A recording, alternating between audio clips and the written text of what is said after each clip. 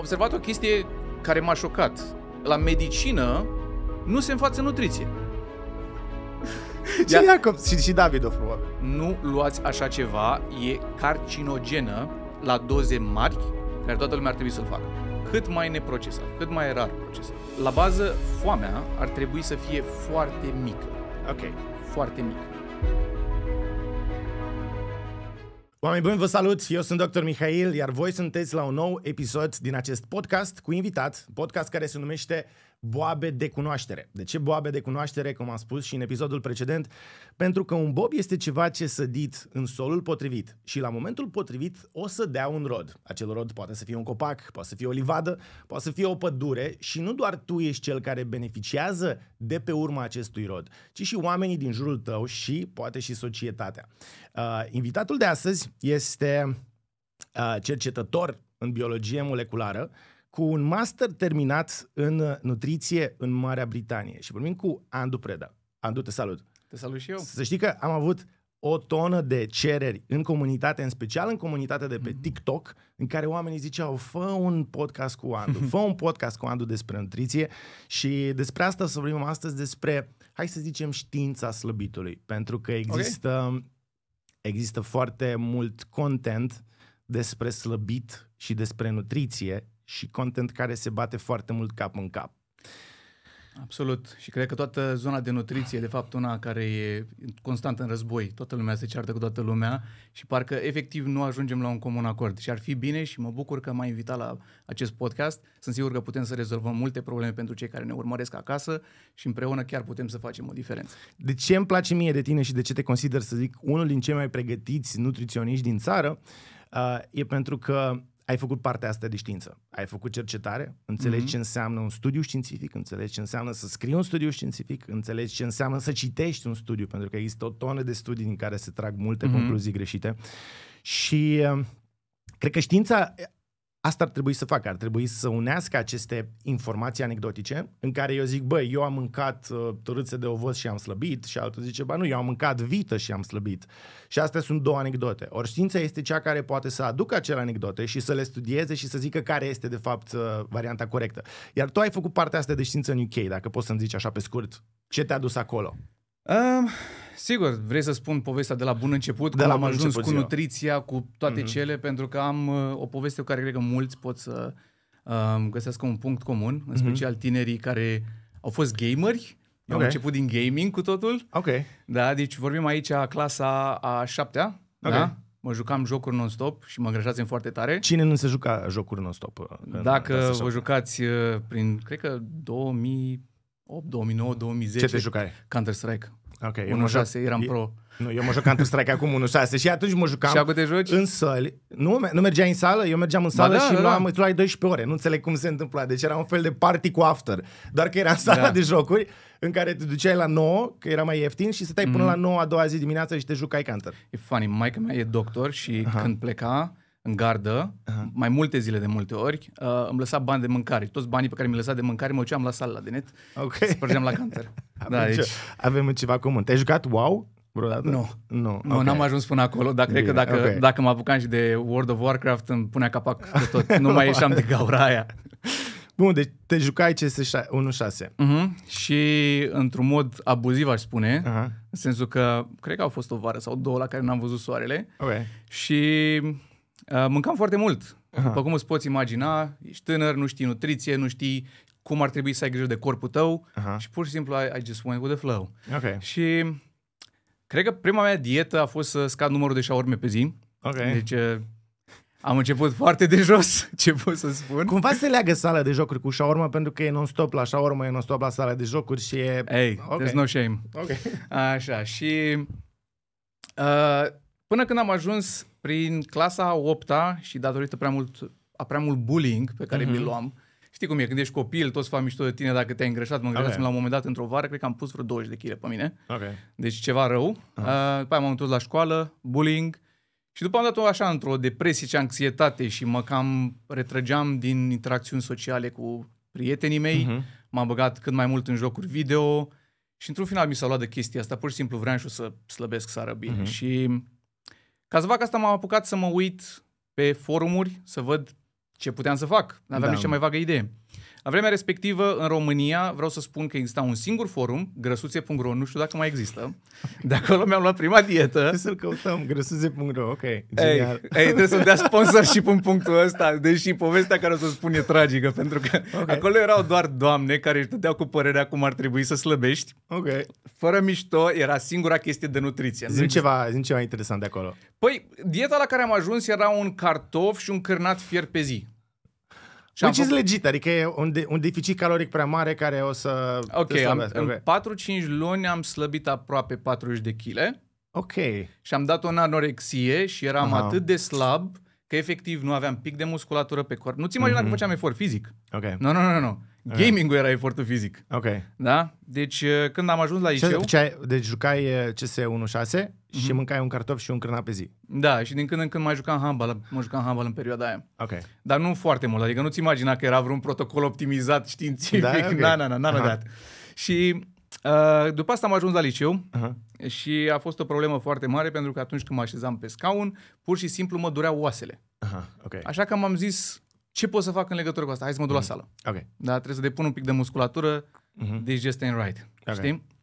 Și am făcut sală, cred că un an de zile, fără să văd vreun rezultat. Aha. Ok. Ceva e în regulă. Acum, eu am avut marele avantaj cu gaming-ul că am învățat foarte ușor engleza, jucând cu jucători internaționali, prins foarte repede, mă uitam la filme în engleză de mic. Ok. Și ai intrat pe forumuri de afară. Da, pe bodybuilding.com. Aha. Da, am ajuns în uh, sfera culturismului acum. Ok. Era un fel de grăsuțe.ro, dar pe culturism de Pe afară. steroizi. Ok. Da. Ok. da. Cam așa era, la propriu, quite literally. și, bine, de acolo mi-am găsit oarecum motivație să merg la sală și am descoperit că poți să îți monitorizezi caloriile. Aha. Nimeni nu mai vorbise despre chestia asta în România până atunci. Ok. Și în vremea respectivă nu existau aplicații de monitorizare a calorilor, nu existau, cred că singurul site care și acum era calorii Odeon, ceva în genul, Aha. e unul clasic unde găsești mâncare Ok. și valori nutriționale și cred că un an de zile eram cu pixul și cu foaia. Efectiv, Ok. așa am calculam caloriile. Mhm. Dar ce am observat a fost un progres uriaș. Mhm. Adică nu vorbim aici diferențe mici. Deci tu în punctul ăsta erai, erai slab și făceai Foarte slab. sală și ai început să-ți calculezi caloriile ca să Da. începi să pui masă musculară. Da, am Ok. descoperit uh, ce înseamnă proteină, ce înseamnă carbohidrați, ce Mhm. înseamnă grăsime, de la culturiști. Ok. Deci uh, nu a venit dintr-o zonă de nutriție, a venit dintr-o zonă de, hai să zicem, uh, fitness. Da? Ok. De acolo a pornit totul. Dar ce am descoperit de-a lungul acestei călătorii în lumea fitnessului e că are niște beneficii uriașe, Mhm. în special mentale. Pe, pentru mine e o formă de terapie. Îmi face plăcere. De atunci Ok. eu nu m-am lăsat de sală. Mhm. Cred că sunt în punctul ăsta 12 ani. Și indiferent că am rezultate, că nu am rezultate, mie îmi face mare plăcere să mă duc la sală. Mhm. Adică, pe lângă faptul că sunt o groază de studii care arată că e probabil una dintre cele mai sănătoase activități pe care poți să le faci și din punct de vedere al longevității și din punct de vedere al sănătății overall, Corect. Da? plus că ajută și la aspectul fizic. Mhm. Deci, uh, da, nu pot să zic decât uh, lucruri grozave. Și după ce am ajuns în clasa 12-a, eu vreau să fac medicină Mhm. Uh, și nu știu cum mi-a venit mie să decid să merg în altă țară. Nu am Mhm. părinți acolo, nu am, pur și simplu a fost așa, am aflat că se poate, fiind în Uniunea Europeană și Marea Britanie și România la vremea Mhm. respectivă. Vorbim aici 2012, eram între 12 Câți ani ai tu? 29. 29. Mhm. Wow, ce mic e. e. Cred că ești un pic mai mare. 29. Super tare. Da. Fac, că mi-aduc aminte când aveam eu 29 de ani și lumea zicea, wow, ce mic ești și mă uitam așa, what the fuck. Ce... Da, sincer, a, a trecut uite așa. Aha. Deci, uh, na, trebuie să te apuci oarecum de vreme și cu sănătatea și cu fitness-ul. Dar... Și ai, ok, și ai zis că UK este în uh, Uniunea Europeană și te-ai dus la Universitatea din Nottingham Mhm. și ai zis, cioc, cioc, uitați Nu, pe nu, nu. grăsuțe.ro, am găsit uh, rețeta asta cu Nu, nu, cartof nu. și crânat. Vreau să o backtrack verific. A bit. Ok, Deci, eu vreau să fac medicină. da. Chestia e că la vremea respectivă nu acceptau bacul pentru medicină în Marea Britanie. Mhm. Așa că a trebuit să fac un an de fundație, Mhm. care era o chestie practica să te pună pe același nivel cu ei, din Da. punct de vedere al biologiei, chimiei, fizicii, chestii de genul. După care am făcut știință medicală. Mhm. Da? Și asta, e o facultate? Da, e o facultate în care tu practic uh, faci tot ce se face la medicină generală în partea în primii trei ani, deci mai mult partea teoretică, că nu prea faci practică. Există corespondent în România pentru știință medicală? Nu cred. Nu. Deci, practic, o, e o facultate în care tu înveți medicină, dar nu ești pregătit uh, să tratezi pacienți bolnavi clinic, ci ești pregătit să intri mai degrabă în cercetare și în laborator. Ceva de genul, adică, hai să o punem altfel. Mm. Înveți toată baza teoretică din medicină, care Da. te face medic, dar nu faci practica lângă pacient. Exact. Și te duci mai degrabă în laborator. Exact. Bun. Eu în timp, eu în timp ce făceam facultatea asta, Aha. în continuare mergeam la sală, trăcuiam mâncare, Mhm. eram din ce în ce mai pasionat de toată treaba cu nutriția, care deja în punctul ăla se strângeau câțiva ani buni. Mhm. Și am observat o chestie care m-a șocat. La medicină nu se înfață nutriție. Foarte puțină nutriție. Da, corect. Deci, și după asta m-am și uitat la statisticile globale. Aha. Și în școala medicală, vorbim aici șase ani, pentru că la mine a fost predată aceeași nutriție care se predă în școala medicală. Ok. Se fac mai puțin de 24 de ore. Măi, știi care e? Deci pot să-ți confirm că eu, la, uh, în facultatea de medicină, în șase ani, am ajuns la nutri... nici măcar la fiziologie. La fiziologie învățam un foarte basic de cum se digeră anumite macronutriente, ce enzimele digeră, Mhm. uh-huh. atât. Fac, uh, nutriție în facultatea de medicină înveți la o materie care se cheamă igienă alimentară. Da. Și în igiena alimentară, timp de o săptămână, într-un stagiu de o săptămână, am învățat statistică și cum se face un studiu, ce la un studiu epidemiologic, etc. Mhm. Oricum foarte puțin, nu înțeleg, dar foarte puțin pentru niște medici să, uh, să Asta înveți zic. partea de studiu. Și uh, o zi am învățat despre igiena alimentară tip uh, DSP, DSV, cum să verifici alimentele, cât se strică, cum se Mhm. strică, cum poate să stea. Și timp de o zi am învățat nutriție, gen, dragi uh, studenți la medicină, uh, există trei macronutrienți uh, principal, carbohidrat, proteină, așa, 200 ăia de sunt calorii așa. vin? A, măi, probabil, nu mai știu. Pentru, nu mai țin, pentru că nu m-am mai țin uitat la un minte. studiu făcut pe studenți la Harvard la medicină Mhm. din anul 5 și 6 Mhm. și peste 60% din ei nu știau câte calorii sunt într-un gram de proteină, carbohidrați și grăsime. Te duci în orice sală Mhm. și întrebi, cred că dacă a trecut un an de sală, Mhm. cam toată lumea știe câte calorii se duc acolo. Mie mi se pare efectiv ridicol că nu se predă chestia asta. E un lucru Da. atât de basic. N-ai nevoie. N-ai, ca nu ai medic, nevoie, ca medic nu e Nu nevoie. ai nevoie.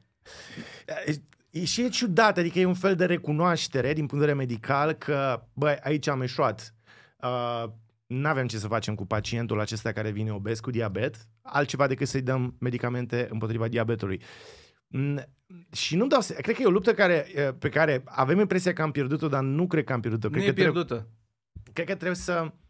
Da, adică cred că un medic care înțelege un pic de nutriție și un pic de calorii și știe să-i explice unui pacient care vine la el un basic pe care să și-l calculeze, ar putea să-i facă mai mult bine decât acel medicament pe care îl dă. Da, cum merge sistemul medical? În mare parte e bazat pe tratament, Aha. nu neapărat pe prevenție. Și dacă vrei dietă și chestii de genul, te duci la dietetician. El se Aha. ocupă de treaba asta. Da. Sau, dacă ai probleme metabolice cu adevărat, te duci la medicul specializat în nutriție și diabetologie. Da? Corect. Și noi, exact. Și cumva fiecare, medicul nu înțelege nutriție, dieticianul a făcut un curs de două luni și... Nu, nu, nu. nu. Eu- Dieticianul ăsta are facultate. Ah, ok, Asta e dieticianul a diferența. făcut- Nutriționistul, Aha, o să spun și care e diferența între mine și un nutriționist normal, ok. că e o diferență măricică. Mhm. Nutriționistul nu are un, un titlu prote- protejat legal. Ok. păi- Dietetiциanul are. Aha, ok. Înțelegi? Ok. Dieticianul Ce e de, facultate face dieticianul? de dietetică. Aha, ok. Deci, ăștia sunt cu adevărat specialiști în nutriție, de care nici naiba nu știe. Ok. Pe când toți cu hoax-ul lor sunt Mhm. în zona de nutriție Ok. și se numesc nutriționiști. Ok. Acum, again, și eu sunt nutriționist, dar vin din altă Mhm. sferă. Mhm.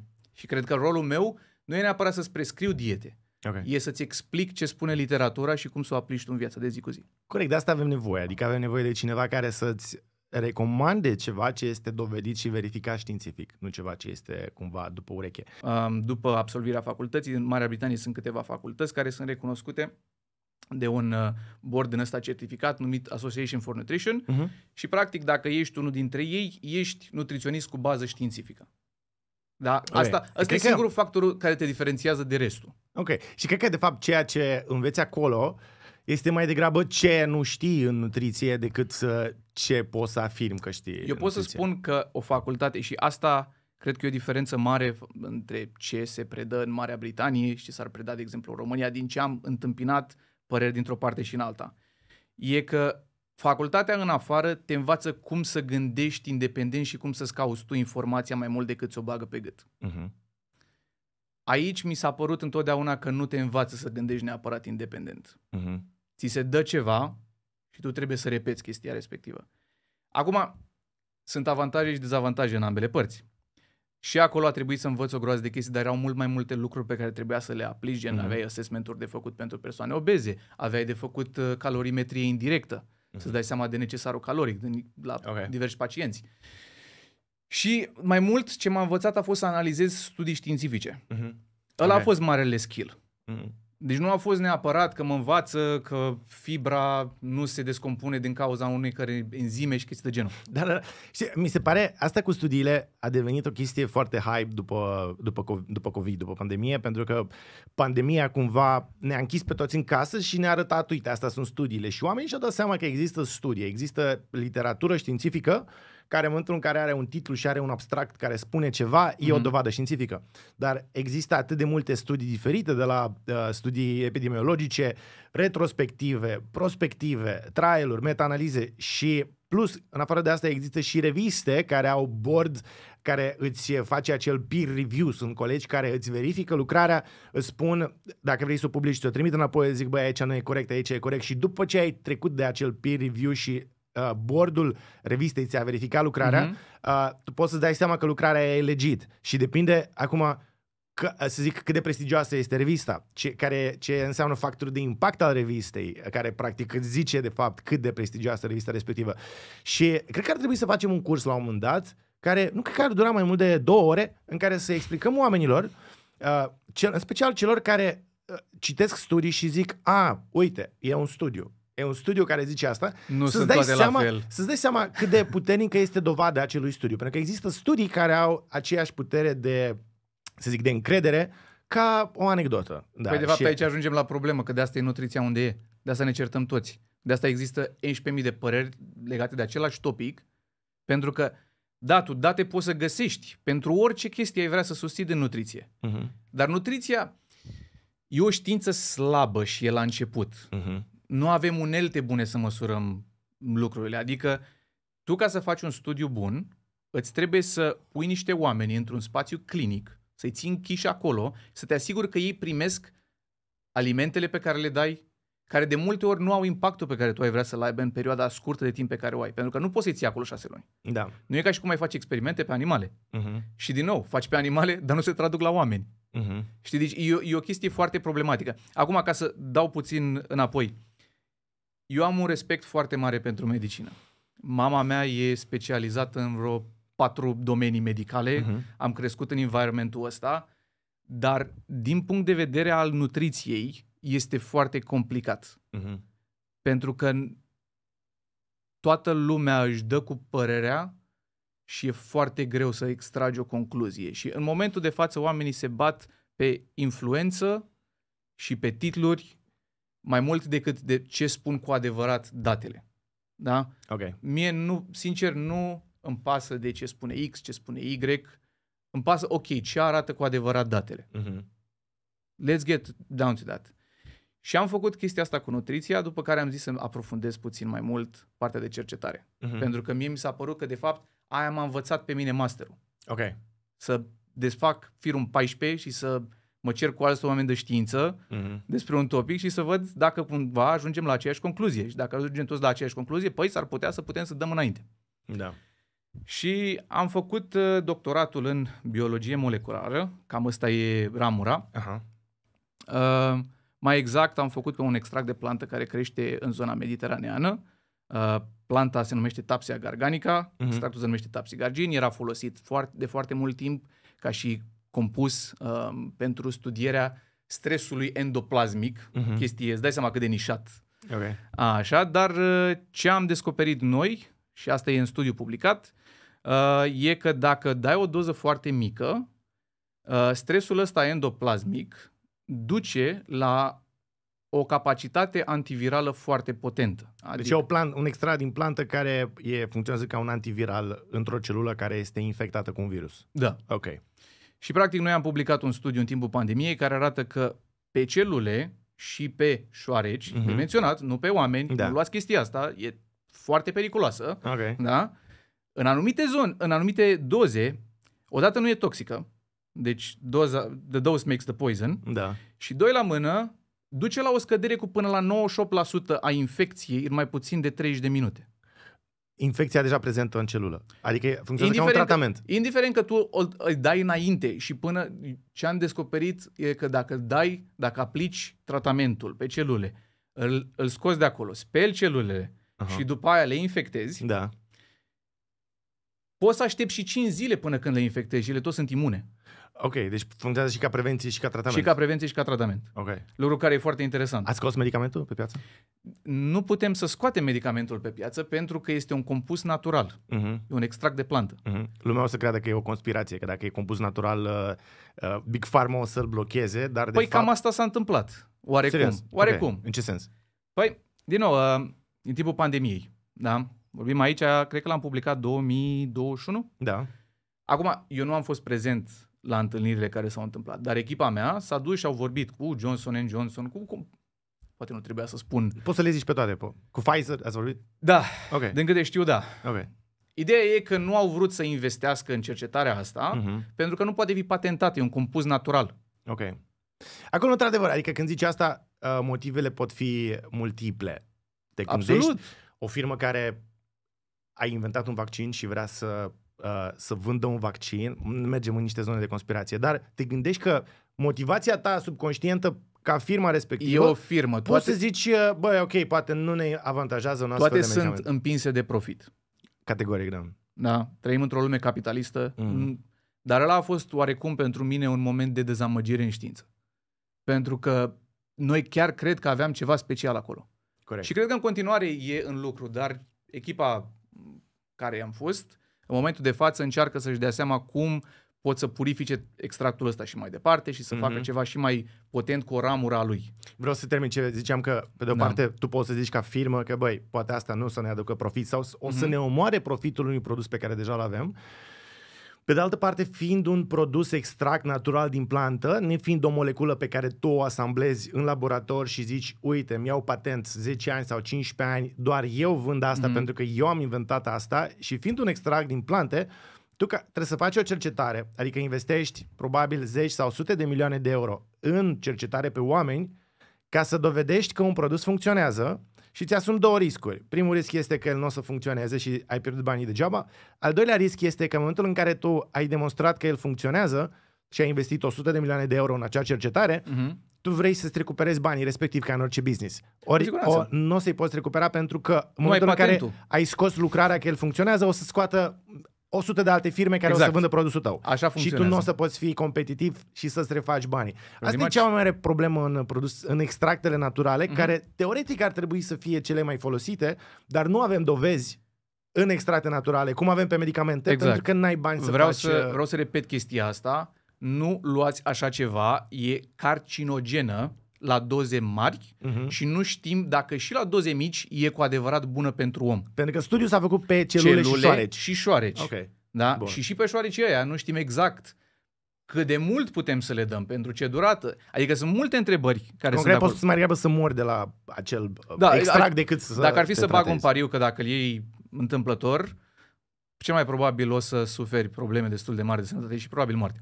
Ok, Adu, uh, e bine că am făcut introducerea asta lungă. Da, e, e, scuze. Ca să nu, e, e ok, uh, ca oamenii să înțeleagă uh, că informațiile în nutriție trebuie foarte bine înțelese, trebuie studiate mai mult decât într-un curs de două luni uh, și trebuie luate din surse sigure în care să ai încredere și cred că tu ești o astfel de sursă. Și uh, în acest sens vreau să începem practic subiectul de astăzi și anume știința slăbitului. Și prima întrebare cumva e legată, probabil că ai răspuns deja parțial la ea, dar de ce, uh, uh, de ce există atât de multă informație în social media despre nutriție care se bate cap în cap și ce facem noi? Care zim un sfat simplu pentru un om care deschide TikTok sau Instagram sau YouTube Shorts și vede o informație de genul, hei, mănânci ouă, nu mânca ouă pentru că ouă o să te omoare, uite acolo în studiu, nu mai mânca ouă. Și uh, sunt atâtea mimuri în care după aia el zice, ok, deschide, iar zice, a, nu mai mânca legume și pentru că sunt tropite cu pesticide, nu mai mânca carne pentru că faci cancer, nu mai mânca cereale pentru că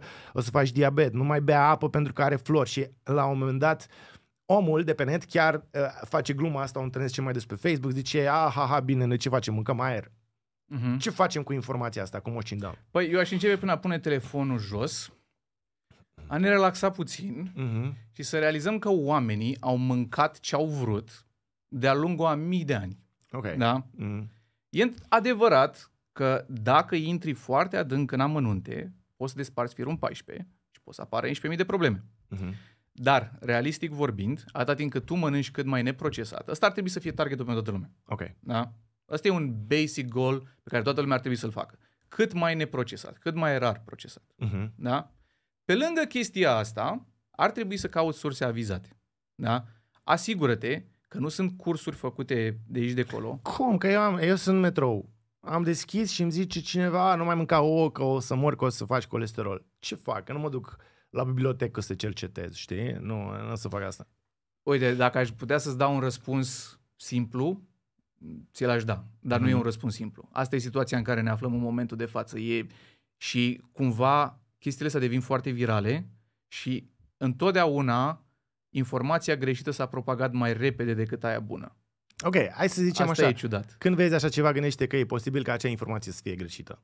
Da, e posibil ca acea informație să fie greșită. Dacă e un lucru pe care îl mâncăm de când lumea, probabil că nu este rău și dacă este un lucru care e gătit în casă, făcut în casă și uh, e puțin procesat, probabil că este bun pentru tine. Cel mai probabil. Ok.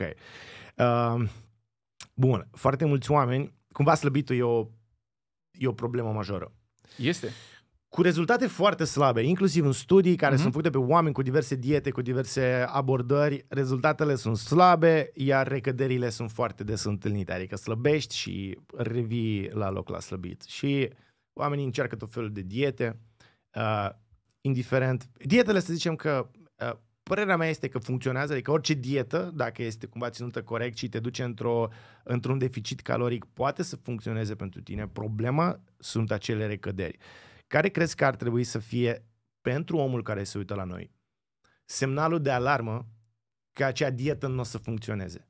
Semnalul că, băi, uh, ok, o ții acum șapte zile, dar o să recazi. Yo-yo ăla e nesănătos. Cum îți dai seama că dieta aia nu funcționează? Deci e un, e un răspuns foarte complex, dar mă bucur că avem un podcast de făcut. Uh-huh. La bază, foamea ar trebui să fie foarte mică. Ok. Foarte mică. Aproape că ignorabilă când ești la dietă. Ok. Da? Asta se face printr-un program alimentar bine gândit, uh-huh. care îți oferă sațietate, care îți oferă un, o densitate calorică mică a alimentelor da. și un volum mare. Volum fizic pe care îl mănânci. Fizic. Ok. Da? Uh-huh. În stomac există senzori de sațietate. Uh-huh. Da? E dovedit că îți trebuie între 400 și 800 de mililitri ca și volum ca tu să scazi foamea. Ca, să, ca acea, acel volum să apese pe stomac în exact. condițiile în care stomacul tău are capacitatea de 800 un litru. Pentru Dar că... uite unde, unde, unde e marea problemă. Deci tu, dacă primești chestia asta din densitate calorică mare, vorbim da. aici, că și un burger poate să ajungă la 400 de grame. Da. Dar îți garantez că în două ore o să fie foame. Aha. Da? De ce? E densitate mare calorică. Noi suntem evolutiv programați atunci când dăm de densitate calorică mare să ne crească apetitul. Ca să depozităm mai mult. Exact. Pentru că organismul nostru spune, ești în junglă, ai dat de mâncare, uh-huh. dă cât poți, că s-ar putea să nu mai primești. Oare cum, cum funcționează lumea și industria alimentară lucrează foarte mult împotriva noastră. E mult mai ușor să produci un aliment cu densitate calorică mare da. și să faci omul dependent de el, ca el să se uh-huh. întoarcă, uh-huh. decât să-i vinzi o salată de fructe. Crezi că e o conspirație? Cineva s-a întâlnit și a zis hai să-l dăm la joale sau e o întâmplare, pur și simplu? Că... Uh, am auzit niște teorii, am citit, mai bine spus, niște teorii interesante, nu știu cât de adevărate uh-huh. sunt, că după al doilea război mondial în America a fost o, o campanie din asta um, agriculturală în care ei au vrut să mărească densitatea calorică foarte mult. Așa, am citit și eu asta, da. Au vrut da, să, nu au vrut să producă mai mult. Ai exact. zis, băi, produceți mai mult. Și exact. au produs mai mult decât mâncau oamenii. Și au mers în mare parte pe carbohidrați. Carbohidrați rafinați. Uh-huh. Pentru că au cantitate foarte mare de a da, crește. Da. da? Și acum, oarecum au devenit exportatorii acestui trend Uh-huh. și densitatea calorică a meselor a crescut. Dacă stăm puțin să ne gândim la junk food, cam de la ei a venit. Da? Pe când mâncarea tradițională, simplă, dacă îți faci acum un restaurant și servești uh, salate și chestii sănătoase Mhm. și nu oferi alternative dense caloric, probabil o să dai faliment. Ok. E foarte greu. Dar de ce suntem, ok, de ce suntem totuși tentați să mâncăm? De ce ne dorim mâncare calori, de, cu densitate calorică mare? Bun.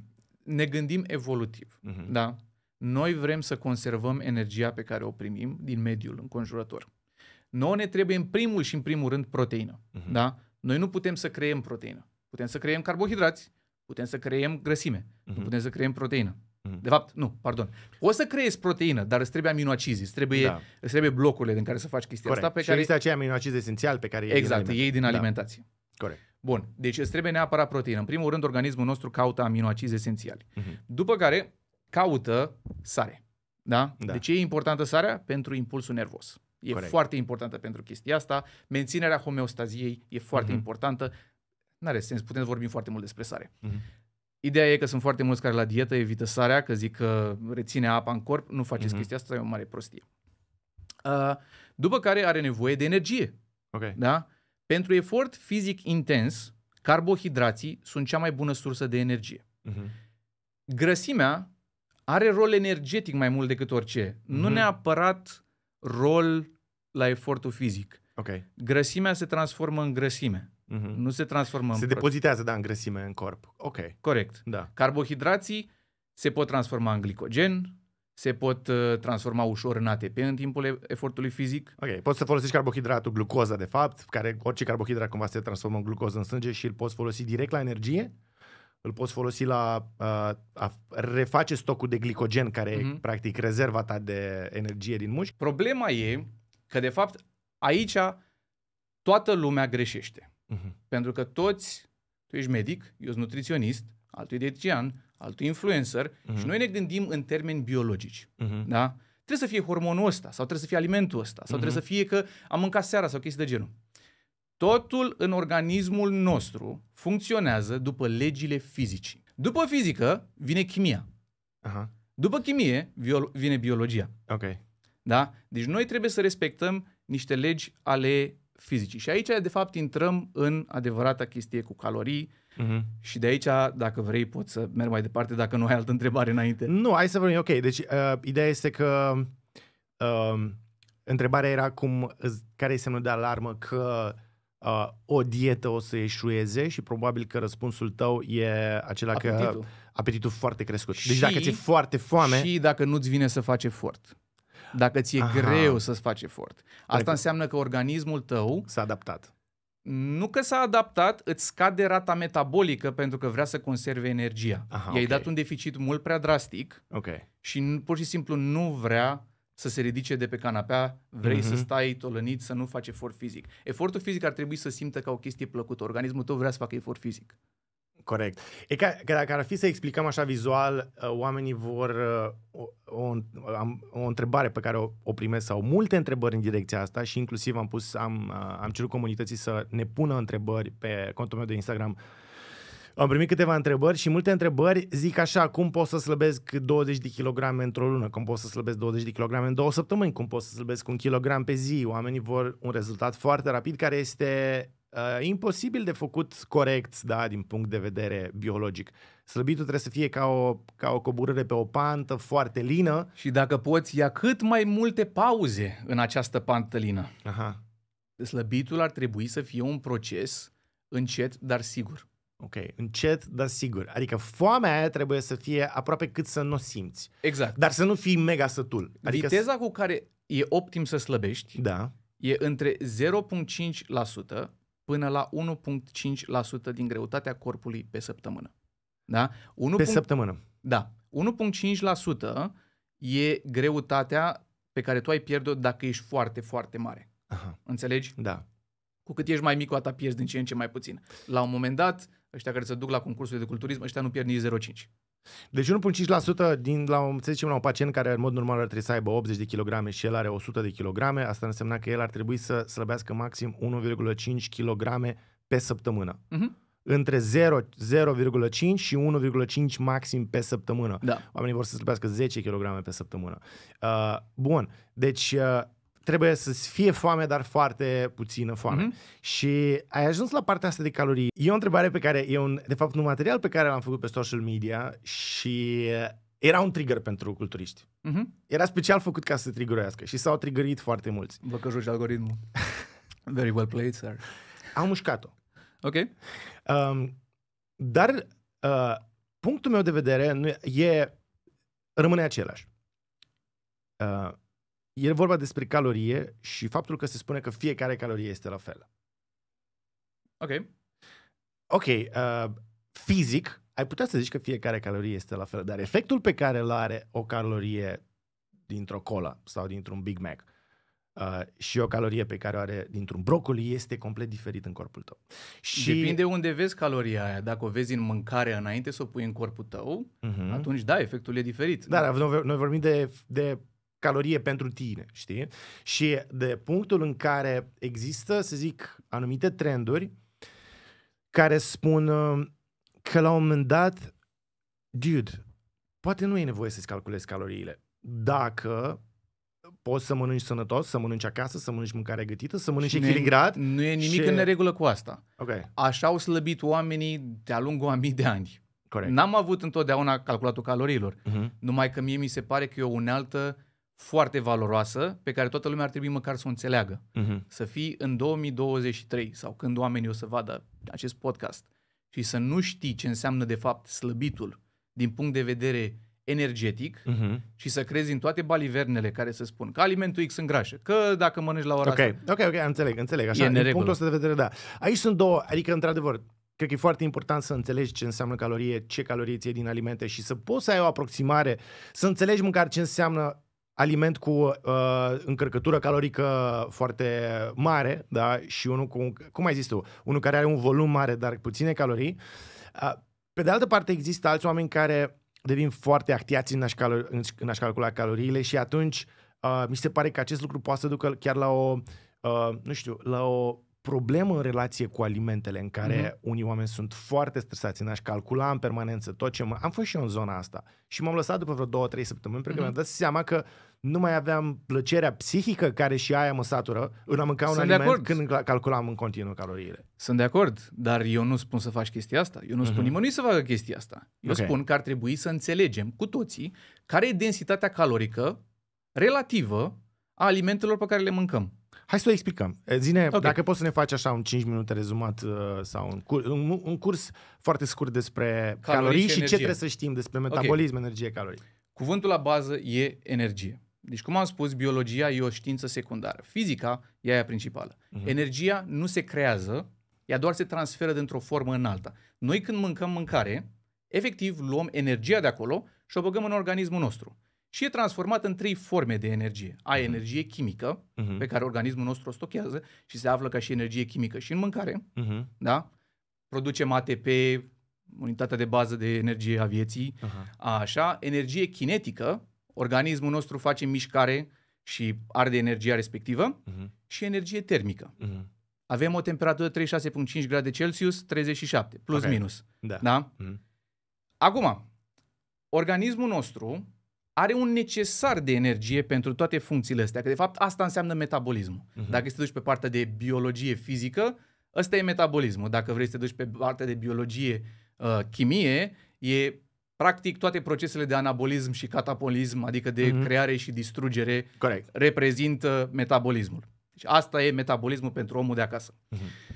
Acum, tu poți să determini câte calorii există în mâncarea ta Mhm. Și poți să determini cam câte calorii are nevoie organismul tău Da.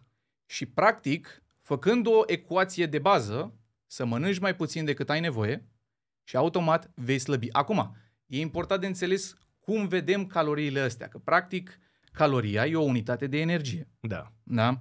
Că de aici sunt foarte multe probleme și oamenii nu înțeleg chestia asta.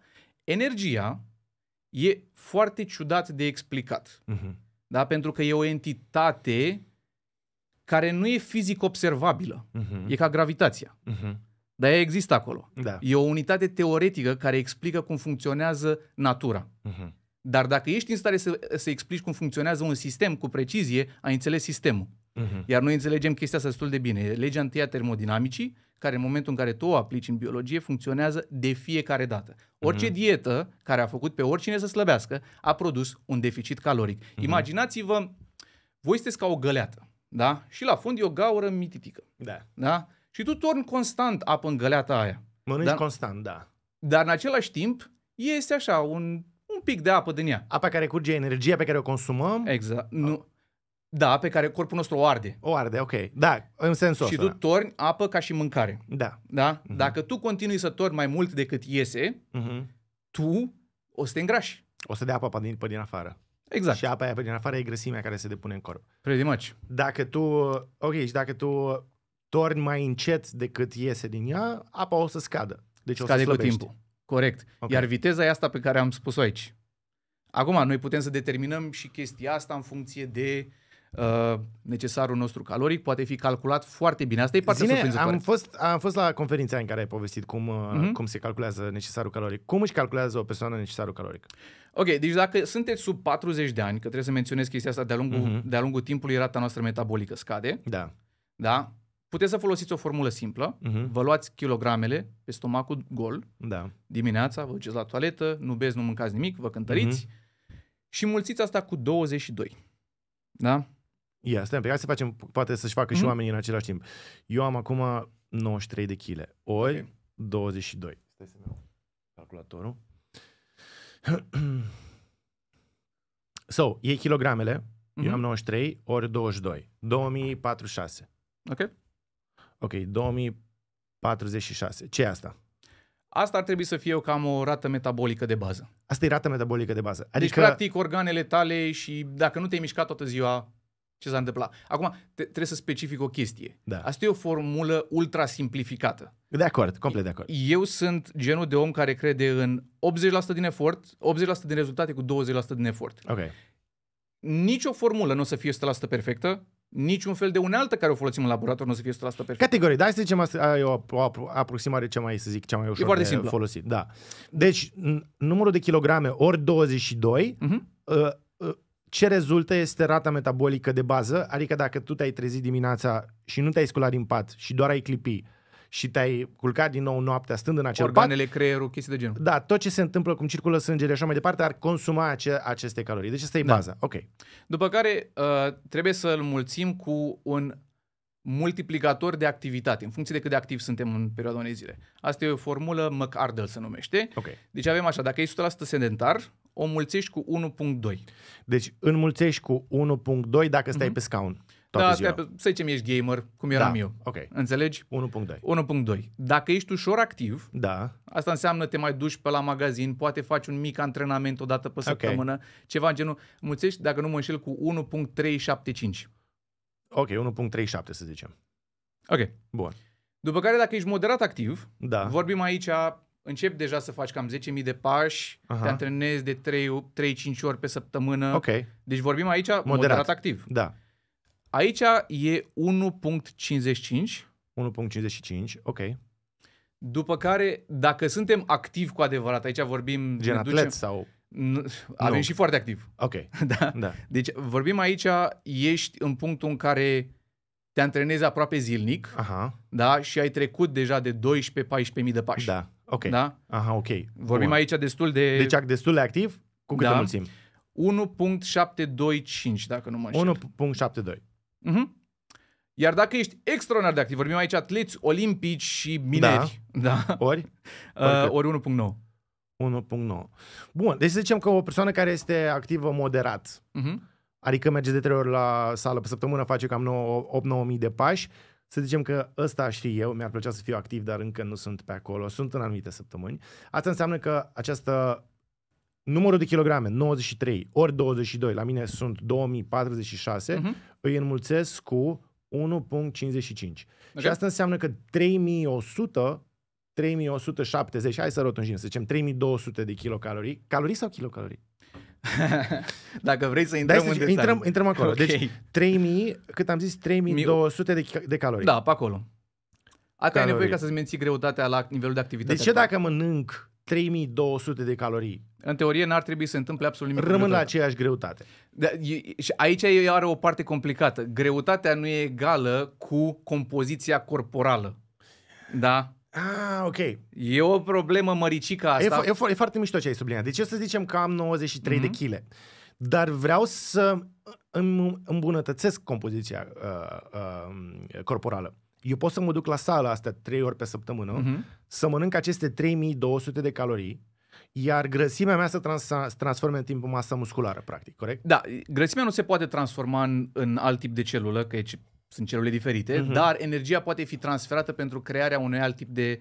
La de, modul ăsta. Adică o să consum energie inclusiv prin arderea grăsimilor care se va transforma în glucoză, care se va transforma în alți Da, aminoacizi care se vor se du- depune. dacă îi dai Ok. proteină și ridici greutăți și mărești stresul constant printr-o ceea ce se numește uh, volum progresiv, Mhm, deci ridici din ce în ce mai mult de la săptămână la săptămână, mhm. cu timpul vei depune musculatură și chiar poți să iei în greutate în timp ce slăbești. Da? Ok, da. Asta e partea unde mulți oameni se descurajează, merg la sală Și iau în greutate. și iau în greutate. Da. Se poate întâmpla, pentru că organismul tău, în special dacă ești neantrenat, crește foarte repede. Fac, dacă, dacă luarea în greutate nu presupune că mănânci cu mult mai mult decât înainte, înseamnă că e un lucru bun că mergi la sală și iei în O, greutate. da, absolut. Și trebuie să iei în considerare că musculatura e în mare parte apă. Mhm, Deci tu îți schimbi compoziția corporală cu a fi mai bine hidratat, mhm. dar apa are și ea o greutate, nu? Corect, da.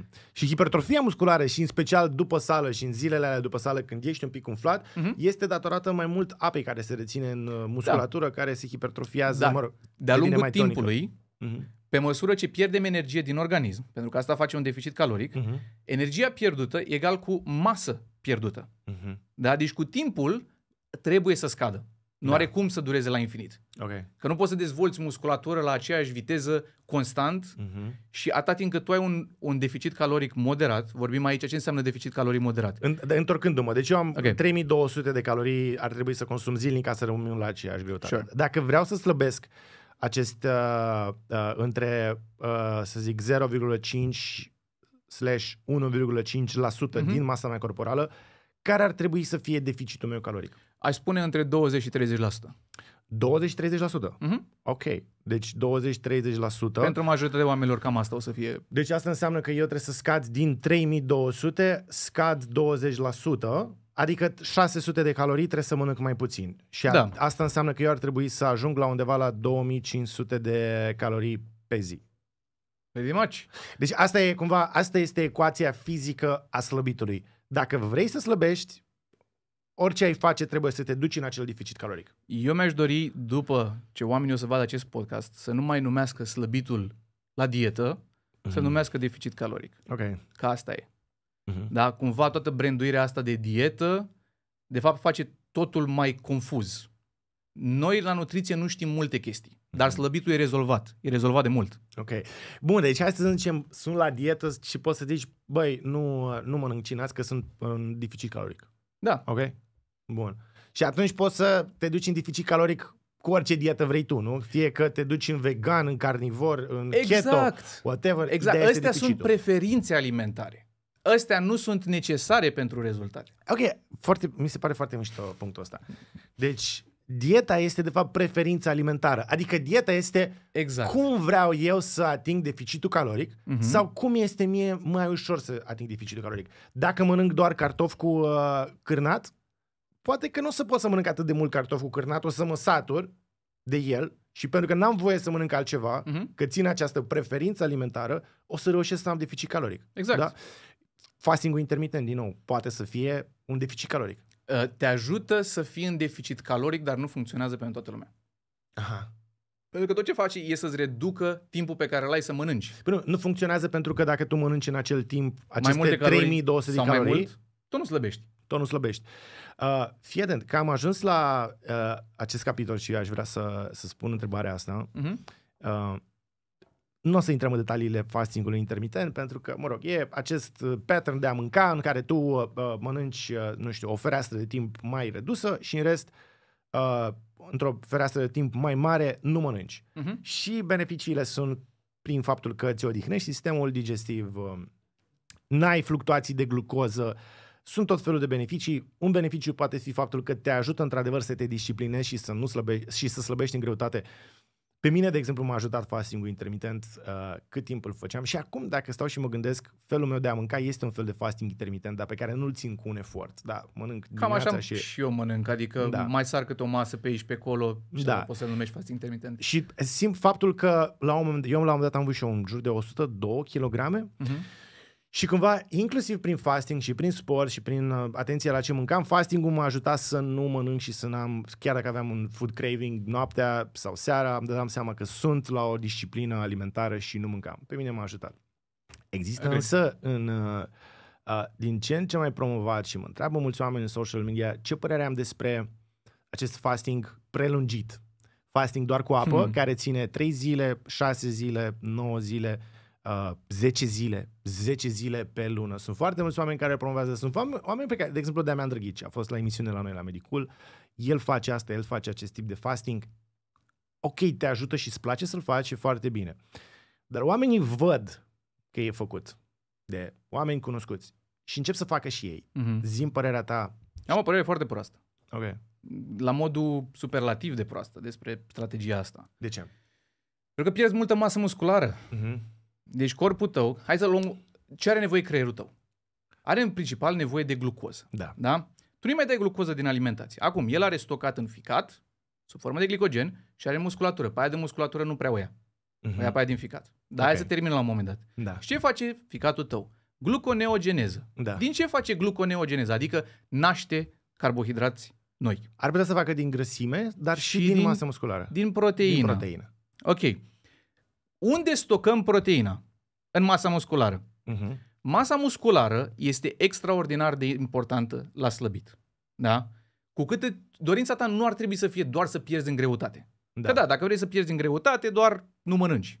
Da? Corect. Dorința ta ar trebui să-ți îmbunătățești compoziția corporală într-un mod cât mai sănătos și cât mai sustenabil, pentru că asta te va duce la rezultate pe termen îndelungat.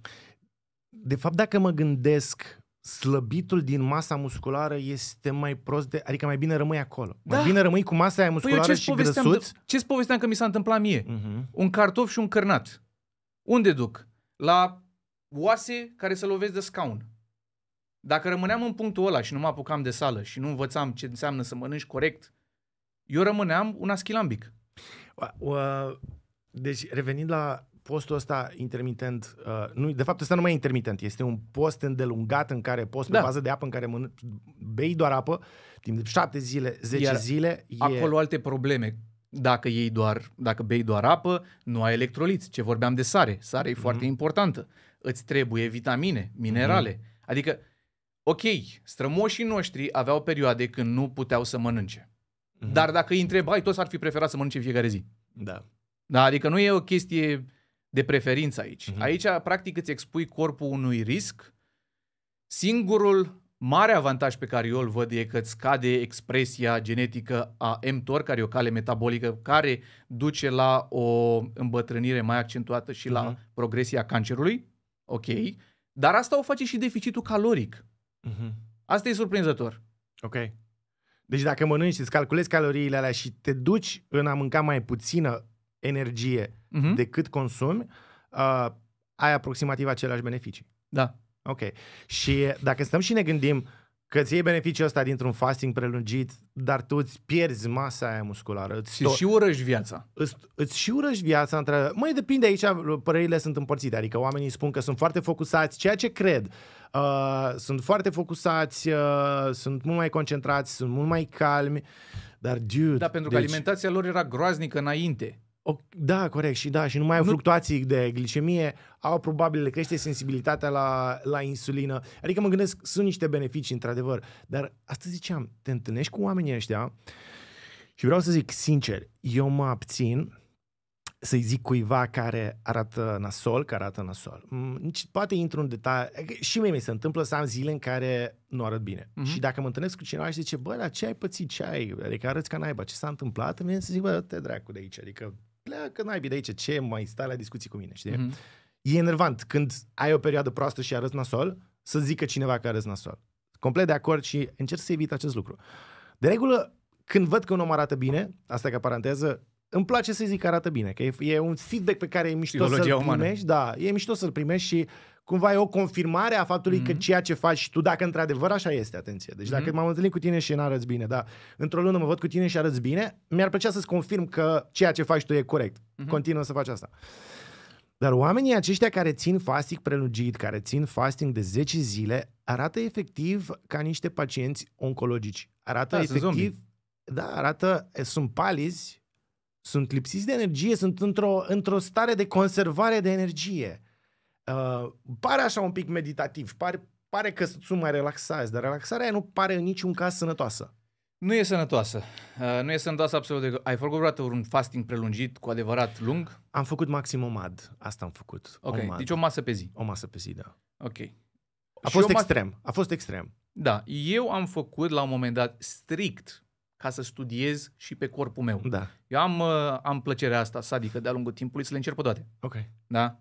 Le-am încercat toate tipurile de diete, toate fadurile, le-am încercat, pentru că cred că pentru mine ca și profesionist în meseria mea, eu trebuie să le înțeleg. Ok, Acum, nu, nu înseamnă că le recomand. corect. Da? Mhm. Am făcut un fasting, dar cu electroliți, Mhm. ca să nu am uh, Câte zile?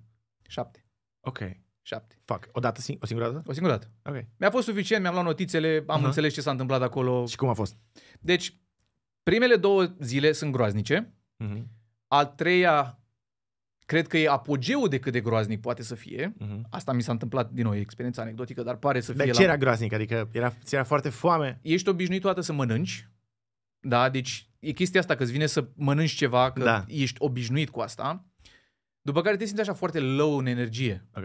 Da, pentru că organismul tău încă funcționează pe glucoză, dar în același timp tu nu-i mai dai, începe să-și, prova- să-și producă corpi cetonici ca să Mhm. înlocuiască substratul Mhm. și intri până acest keto flu, Mhm. care se întâmplă și la cei care urmează o dietă ketogenică, dar la tine e mult mai grăbit. Da, corect. Da? Cam după trei zile, organismul tău nu mai produce atât de multă glucoză pe care o produce când nu mănânci absolut deloc din proteina din mușchi. Mhm. Deci, cam primele trei zile consumi cea mai multă masă musculară. Ok. Da, te-ai așteptat să fie mai la final, dar nu, e la început. E la început, de fapt. E la început, de adică fapt. inclusiv un fasting de 3 zile nu e recomandat. Inclusiv de unul de o zi. Complet de o zi. Ok. Mai bine nu îl faci. Sau Aha. dacă îl faci, fă rar. fă Ok. o dată la șase luni, ceva în genul. Ok. Ce aș recomanda e să consumi mai multă proteină și să consumi legume și fructe. Ghiși ce? Funcționează. Ok. Pare atât de simplu. E, e plictisitor, Păi e. adică lasă-mă în pace. Sunt, e atât de mișto, fac fasting. Boss, nu mănânc de șapte zile, iau, joacă pasta. Sau, boss, uh, mănânc proteine și legume. So what? Ce, nu mai e deloc Densitate interesant. calorică mică, proteină mai multă, din surse slabe. Aha. Da? Aha. It just works. Ok.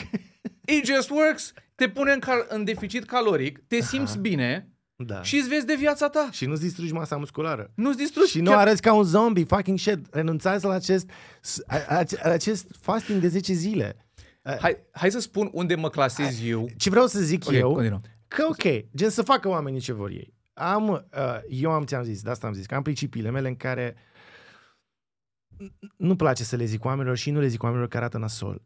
Mi-e foarte greu când vă văd să mă abțin, să vă ziceți, să vă spun că arătați rău. Adică, cumva, partea asta de medic din mine strigă spre mine să-i întreb ce naiba se întâmplă cu tine, că aș vrea să te ajut. Aș vrea să te ajut. Știi, cum e, ai, știi care ai e pățit approach-ul ceva, meu? adică aș vrea să, a, nu știu, aș vrea să-ți întindem o mână de ajutor. Ce, ce s-a întâmplat în viața ta de arăți atât de rău și de fapt el face fasting 10 zile. Mm. Eu unul m-am oprit să mai fac chestia asta. Pentru că oamenii nu reacționează deloc bine când le spui că nu arată ok sau că e vreo problemă acolo. Deși și eu fac același lucru. Adică nu-ți imagina că nu... Când văd un om, mă uit, ok, asta e culoarea ochilor, uh, cam gălbejit, s-ar putea să fie ceva de hepatită pe acolo. Analizez, Mhm. știi? Da. Chestii de genul. M-am oprit să fac chestia asta pentru că oamenii se simt jigniți și trigăruiți Da. și aștept pur și simplu ei să vină să-mi ceară ajutorul. Dar ce mă enervează când vin să-mi ceară ajutorul e că mă învață tot ei pe mine cum să fac lucrurile. Și că se simt foarte bine, da, că se simt foarte... Și să apucă să-mi zică, da, da, dieta asta, dar cura asta. Când aud de cură, eu iau razna. De ce? Cure cu ciorbă de varză. Ok. Să- What's wrong? Dacă e în deficit caloric. Păi e în deficit caloric, dar te simți ca naiba. și nu e sustenabil. Ok. Adică, deci, știi de ce toate dietele eșuează? Hai să, o- hai să o ducem așa. Zi, da? de ce? Pentru că omul nu se schimbă fundamental într-o perioadă foarte scurtă de timp. El trebuie să schimbe stilul de viață și cum se vede pe el însuși. Aha, E și o parte psihologică de care mulți uităm. ok. Deci tu, în momentul în care ai început o dietă, tu nu poți să mănânci junk food, dulciuri, să nu faci activitate fizică, să ții o dietă mega strictă, ok, slăbești, și să fii, da, eu acum mă simt sănătos și o să fiu sănătos pentru restul vieții. Te Nu! simți, dacă te simți ca naiba, nu o să mai faci asta. O să revii la ceea ce te Dacă făcea să te simți ai bine. un proces încet, dar sigur, da? Mhm. în care trendul scade constant Da. și ai răbdare, te simți bine, observi că viața ta se îmbunătățește, te Aha. simți altfel, efortul fizic e mai plăcut, trebuie să începi încet.